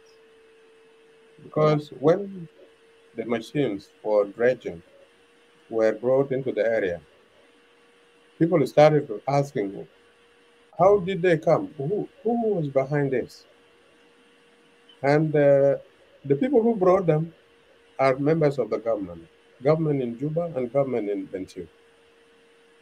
And now part of the government are saying they didn't know. They have no idea about how they came. This is why I'm saying uh, I'm not a neutral person because such a situation should not be allowed to develop. The government is supposed to be one body. If I am a minister and I go and sign an agreement and I'm not authorized, this is uh, unacceptable. I can be sacked. And now they say the minister went and signed that without authorization. It raises a lot of questions. But of course, that's not, uh, that's not where we have to discuss it. This is where I'm in, uh, I, I'm a member of a forum where some of these things are discussed, and I give my opinion there. And my, I agree with people who say there is a lot of concern that dredging, that is making the river deeper, uh, will make the water which spills outside the, the river come back to the mainstream and flow normally. According to scientists, I'm, I'm not one of them, but I believe them. This water, which spills out of the river, is sometimes evaporates. It goes into the atmosphere. And this is the one which forms rain in other areas. And they say the equatorial forest, the one which is in the Congo and even part of Equatoria, is a result of this. Once there is no spill water, rains will become less and the place will become desert. And they cite uh, many places like Chad. Lake Chad now is drying up. There's also, uh, I've seen a document, I mean a video of uh, Lake Baikal in the former Soviet Union, in Russia, drying up. These things are not just fiction. They are credible, I mean, from science, the stories from scientists, and we have to trust them. What, under normal circumstances, should be done would be to conduct research. Research conducted by independent people who should not be biased in favor of this or uh, so people say this one is not acceptable. This is what I'm reporting about what we discussed on, on that forum. And some people have gone to the point of raising this to the the court, high court in uh, East African community in Arusha. This is no longer a question of uh, we, uh, we disagree with this and therefore it should end like that. Some people have been suggesting that this should be taken to the National, national Legislative Assembly because normally the law-making body, the parliament, is supposed to ask the government. That's their job. Why is this thing happening all this? To be explained. And if they find that this is not the right thing to do, they will block it. They will say, no, cannot be done. But like the media, the, the parliament we have has not been doing that job. And uh, if they were to block it, like the regional assembly in uh, the, the, old days when uh, Khartoum wanted to take part of Bentiu to the north, they raised it in Juba and uh, they blocked it. And uh, when it was taken to Nimeri, Nimeri said, yes, the parliament of the South says no, then we should not go ahead. So parliament has power to check the activities of the government. If they disagree with the government and they, the majority of them agree, then the whole thing should not go ahead. Uh, as also, uh, from a journalistic point of view, I wouldn't advocate anything which would lead to violence. But people should convince the government this one is not good because of this and this. Well, there are scientists talking about this. The government is also has the government has the right to convince the people why this is good and not good. Uh, like the Jonglei Canal. the Jonglei Canal uh, was stopped by the SPLM.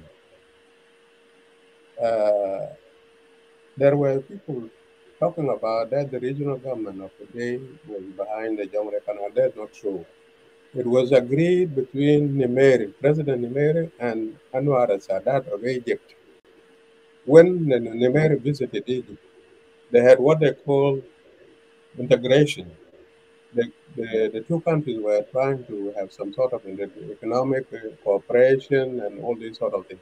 And Egyptians have always been asking for the, the Nile, waters from the Nile for their irrigation. Nobody denies Egypt the right to, to use the water because uh, they say you have read that Egypt is the gift of the Nile.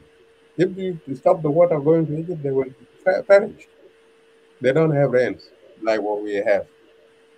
But this water belongs to the countries through, through which it passes. Ethiopia, much of the water from the Blue Nile comes from Ethiopia, highlands.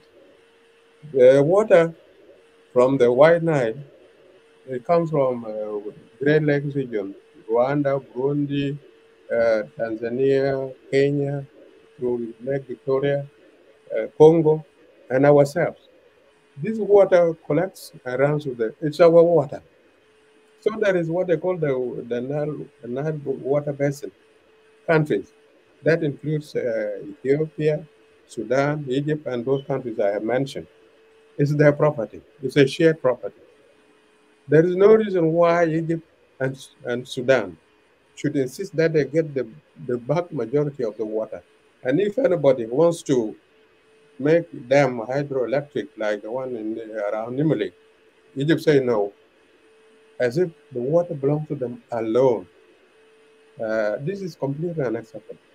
The Nile Waters Agreement was done in 1929 between Sudan and Egypt. Egypt was a partner with the British in ruling the Sudan.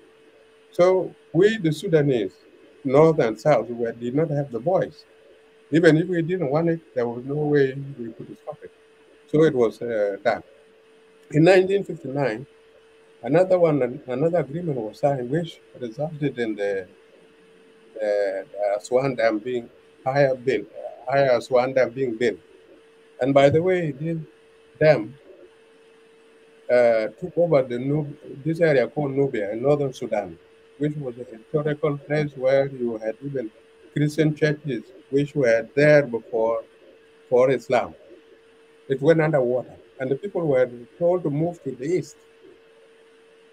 It has been doing a lot of damage. Nyerere had what they call uh, the doctrine of uh, if an agreement was made before you were an independent country, that agreement does not bind on you. So the Waters Nile Agreement of 1929 and 1959, to us, we in South Sudan, are not binding on us. Of course, some people say, some lawyers say that one is being questioned, that doctrine. But again, why is it that Egypt is interested in the water which belongs to all of us and they want to exploit us from? If it is the question of floods, there are ways of uh, controlling floods. Nobody's against it. It, it, it does damage, but it can be managed. The, there has been already work going on that the, the could come and build dikes in uh, areas like Bor. Once those dikes are there, the flood will not be there. And once the canal is dug, the water will go and the Sudd will dry up. Sudd is one of the rare uh, natural features and it is uh, what they call World Heritage. Uh, how do you call it? Exactly. Now, we, the South Sudanese, the owners of the thing, we have not even made it a national uh, site, heritage site. Now, once the canal is uh, built, the water will just go, and the the the, the site will dry up. Why why do we destroy ourselves?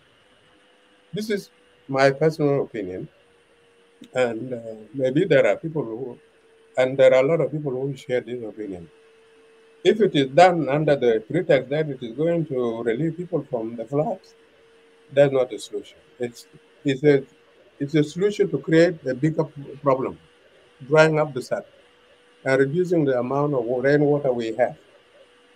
Uh, we need, as far as the problem of the flooding, as far as uh, Bor, area, I mean, Jonglei is concerned, people go to highlands.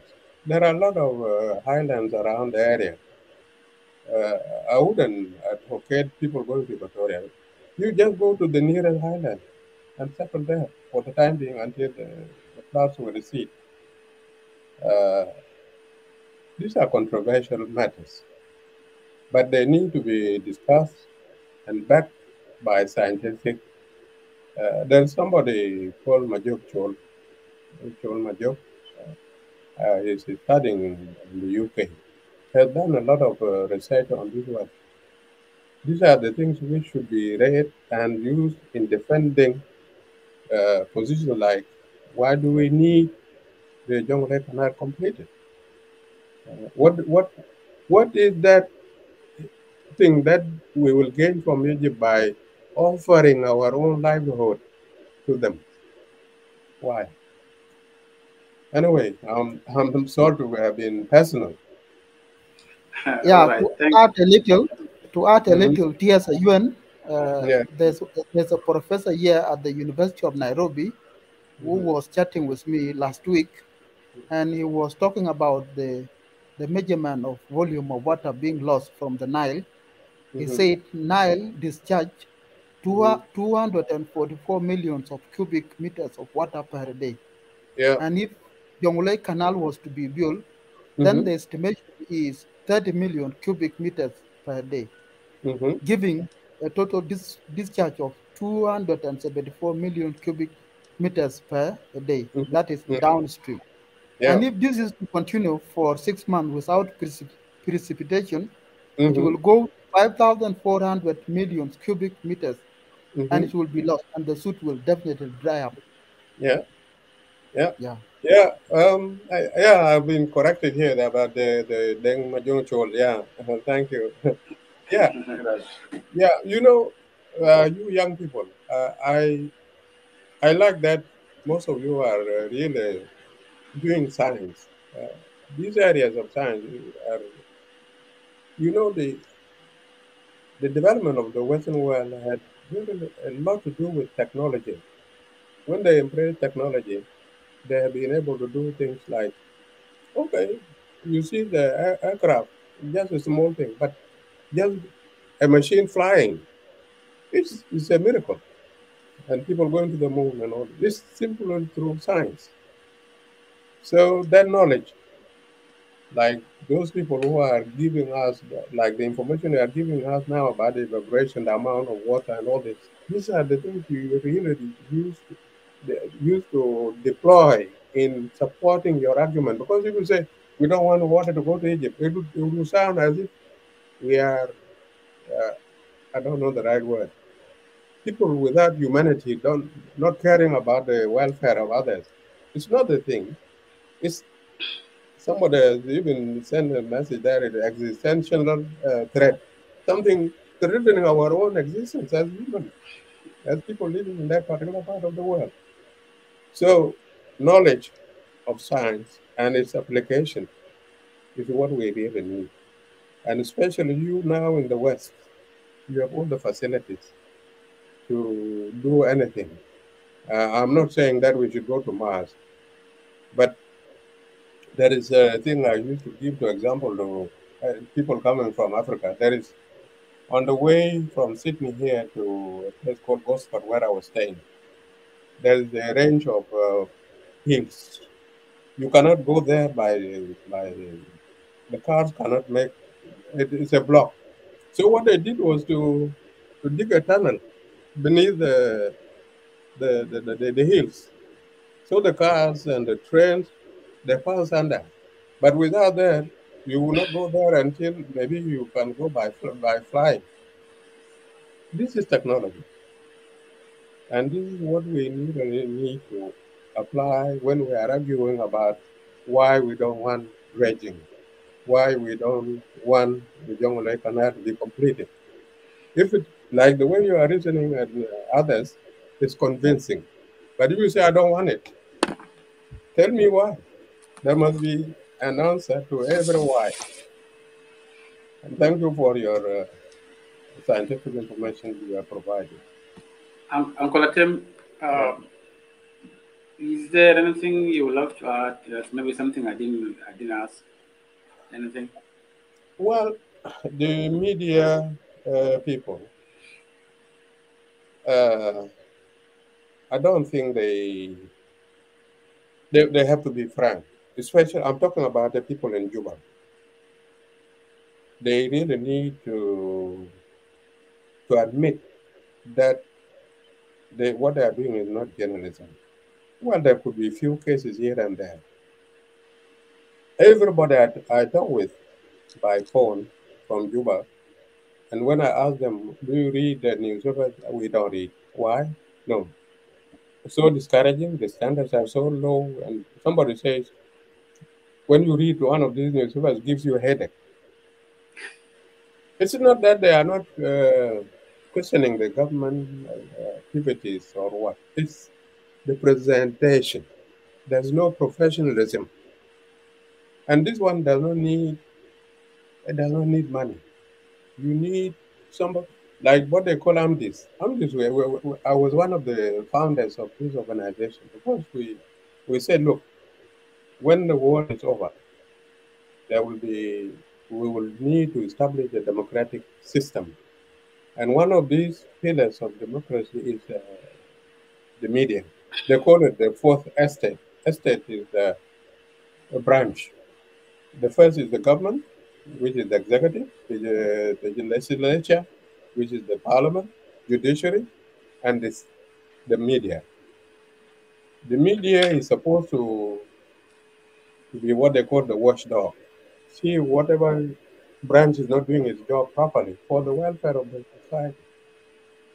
Now, if the media is not doing the job, of course, as uh, TS uh, said before, because they are not free, that's why they cannot do it. Okay, why can they not do what the government is not preventing them from doing?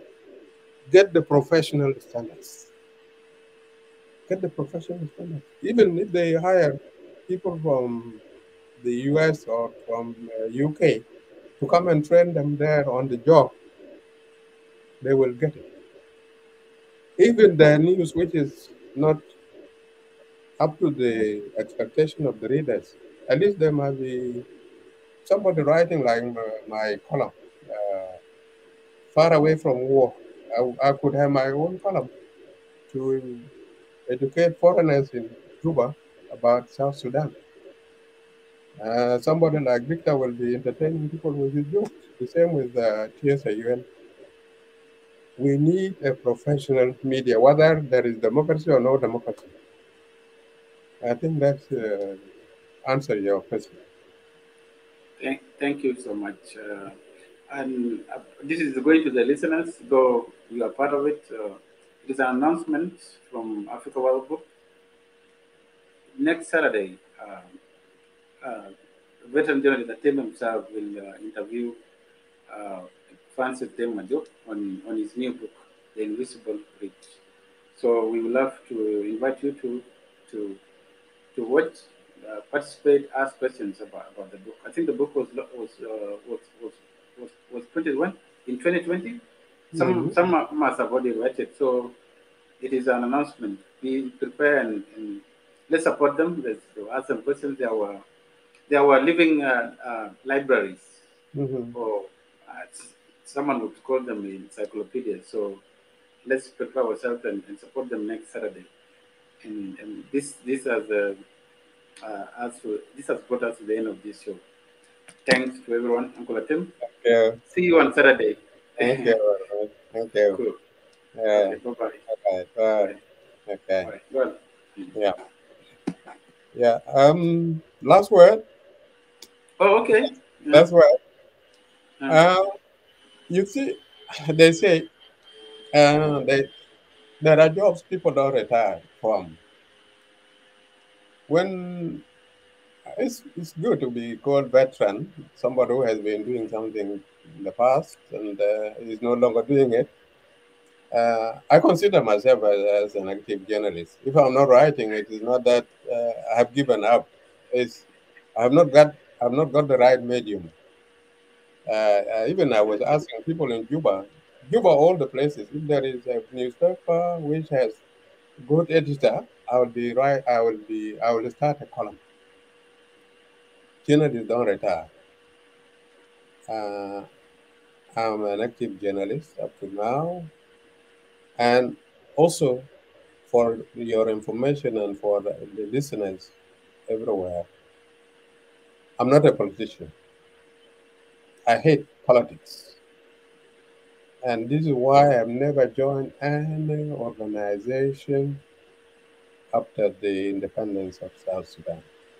You remember how many organizations are there, anti-government, anti, or for the government? No. I'm an independent person, politically speaking. But I have very strong opinions. Like the and I, for me, it should not be done. It would uh, destroy the the wetland, which is not very far from my home area, by the way. Yeah, so that's a piece of information. I'm still with you as a, a journalist. It's that I'm not appearing frequently all these days because there's no good news. But let there, if there's a good news about Juba now, I will send my piece tomorrow. That's uh, that's for you, uh, TSAUN. And thank you very much. I enjoyed your company. I learned a lot from you, by the way. You, uh, you people with uh, background in science. Yeah. Thanks. Mm, yeah. Thank you so much. So thank you. Thank you, Uncle Atem. Thank you. Thank you. Bye-bye. Bye. Okay. Bye.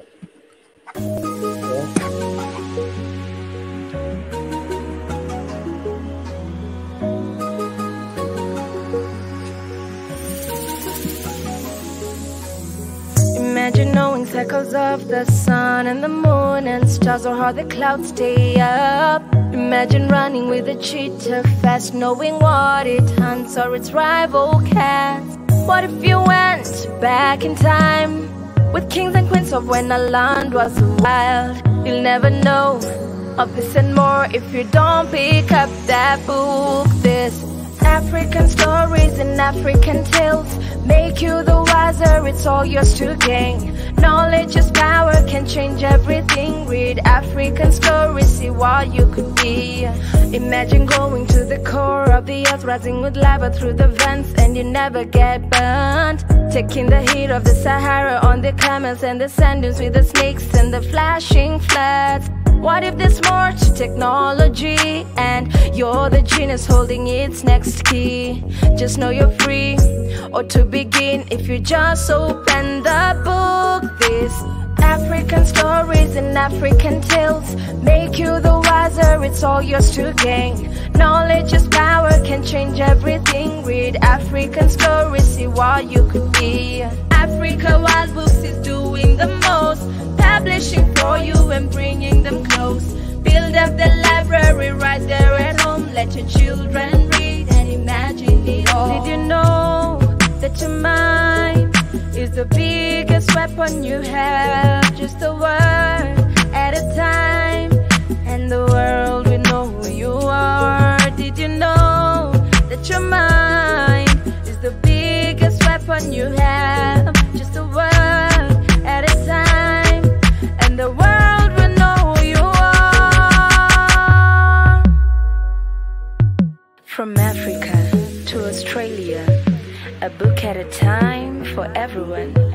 A culture, a history, a heritage. You gotta read, read, read, yeah, read these books with African stories and African tales. Making you wiser, it's all yours to gain. Knowledge is power, can change everything. Read African stories, see why you could be. Africa World Books is doing the most. Publishing for you and bringing them close.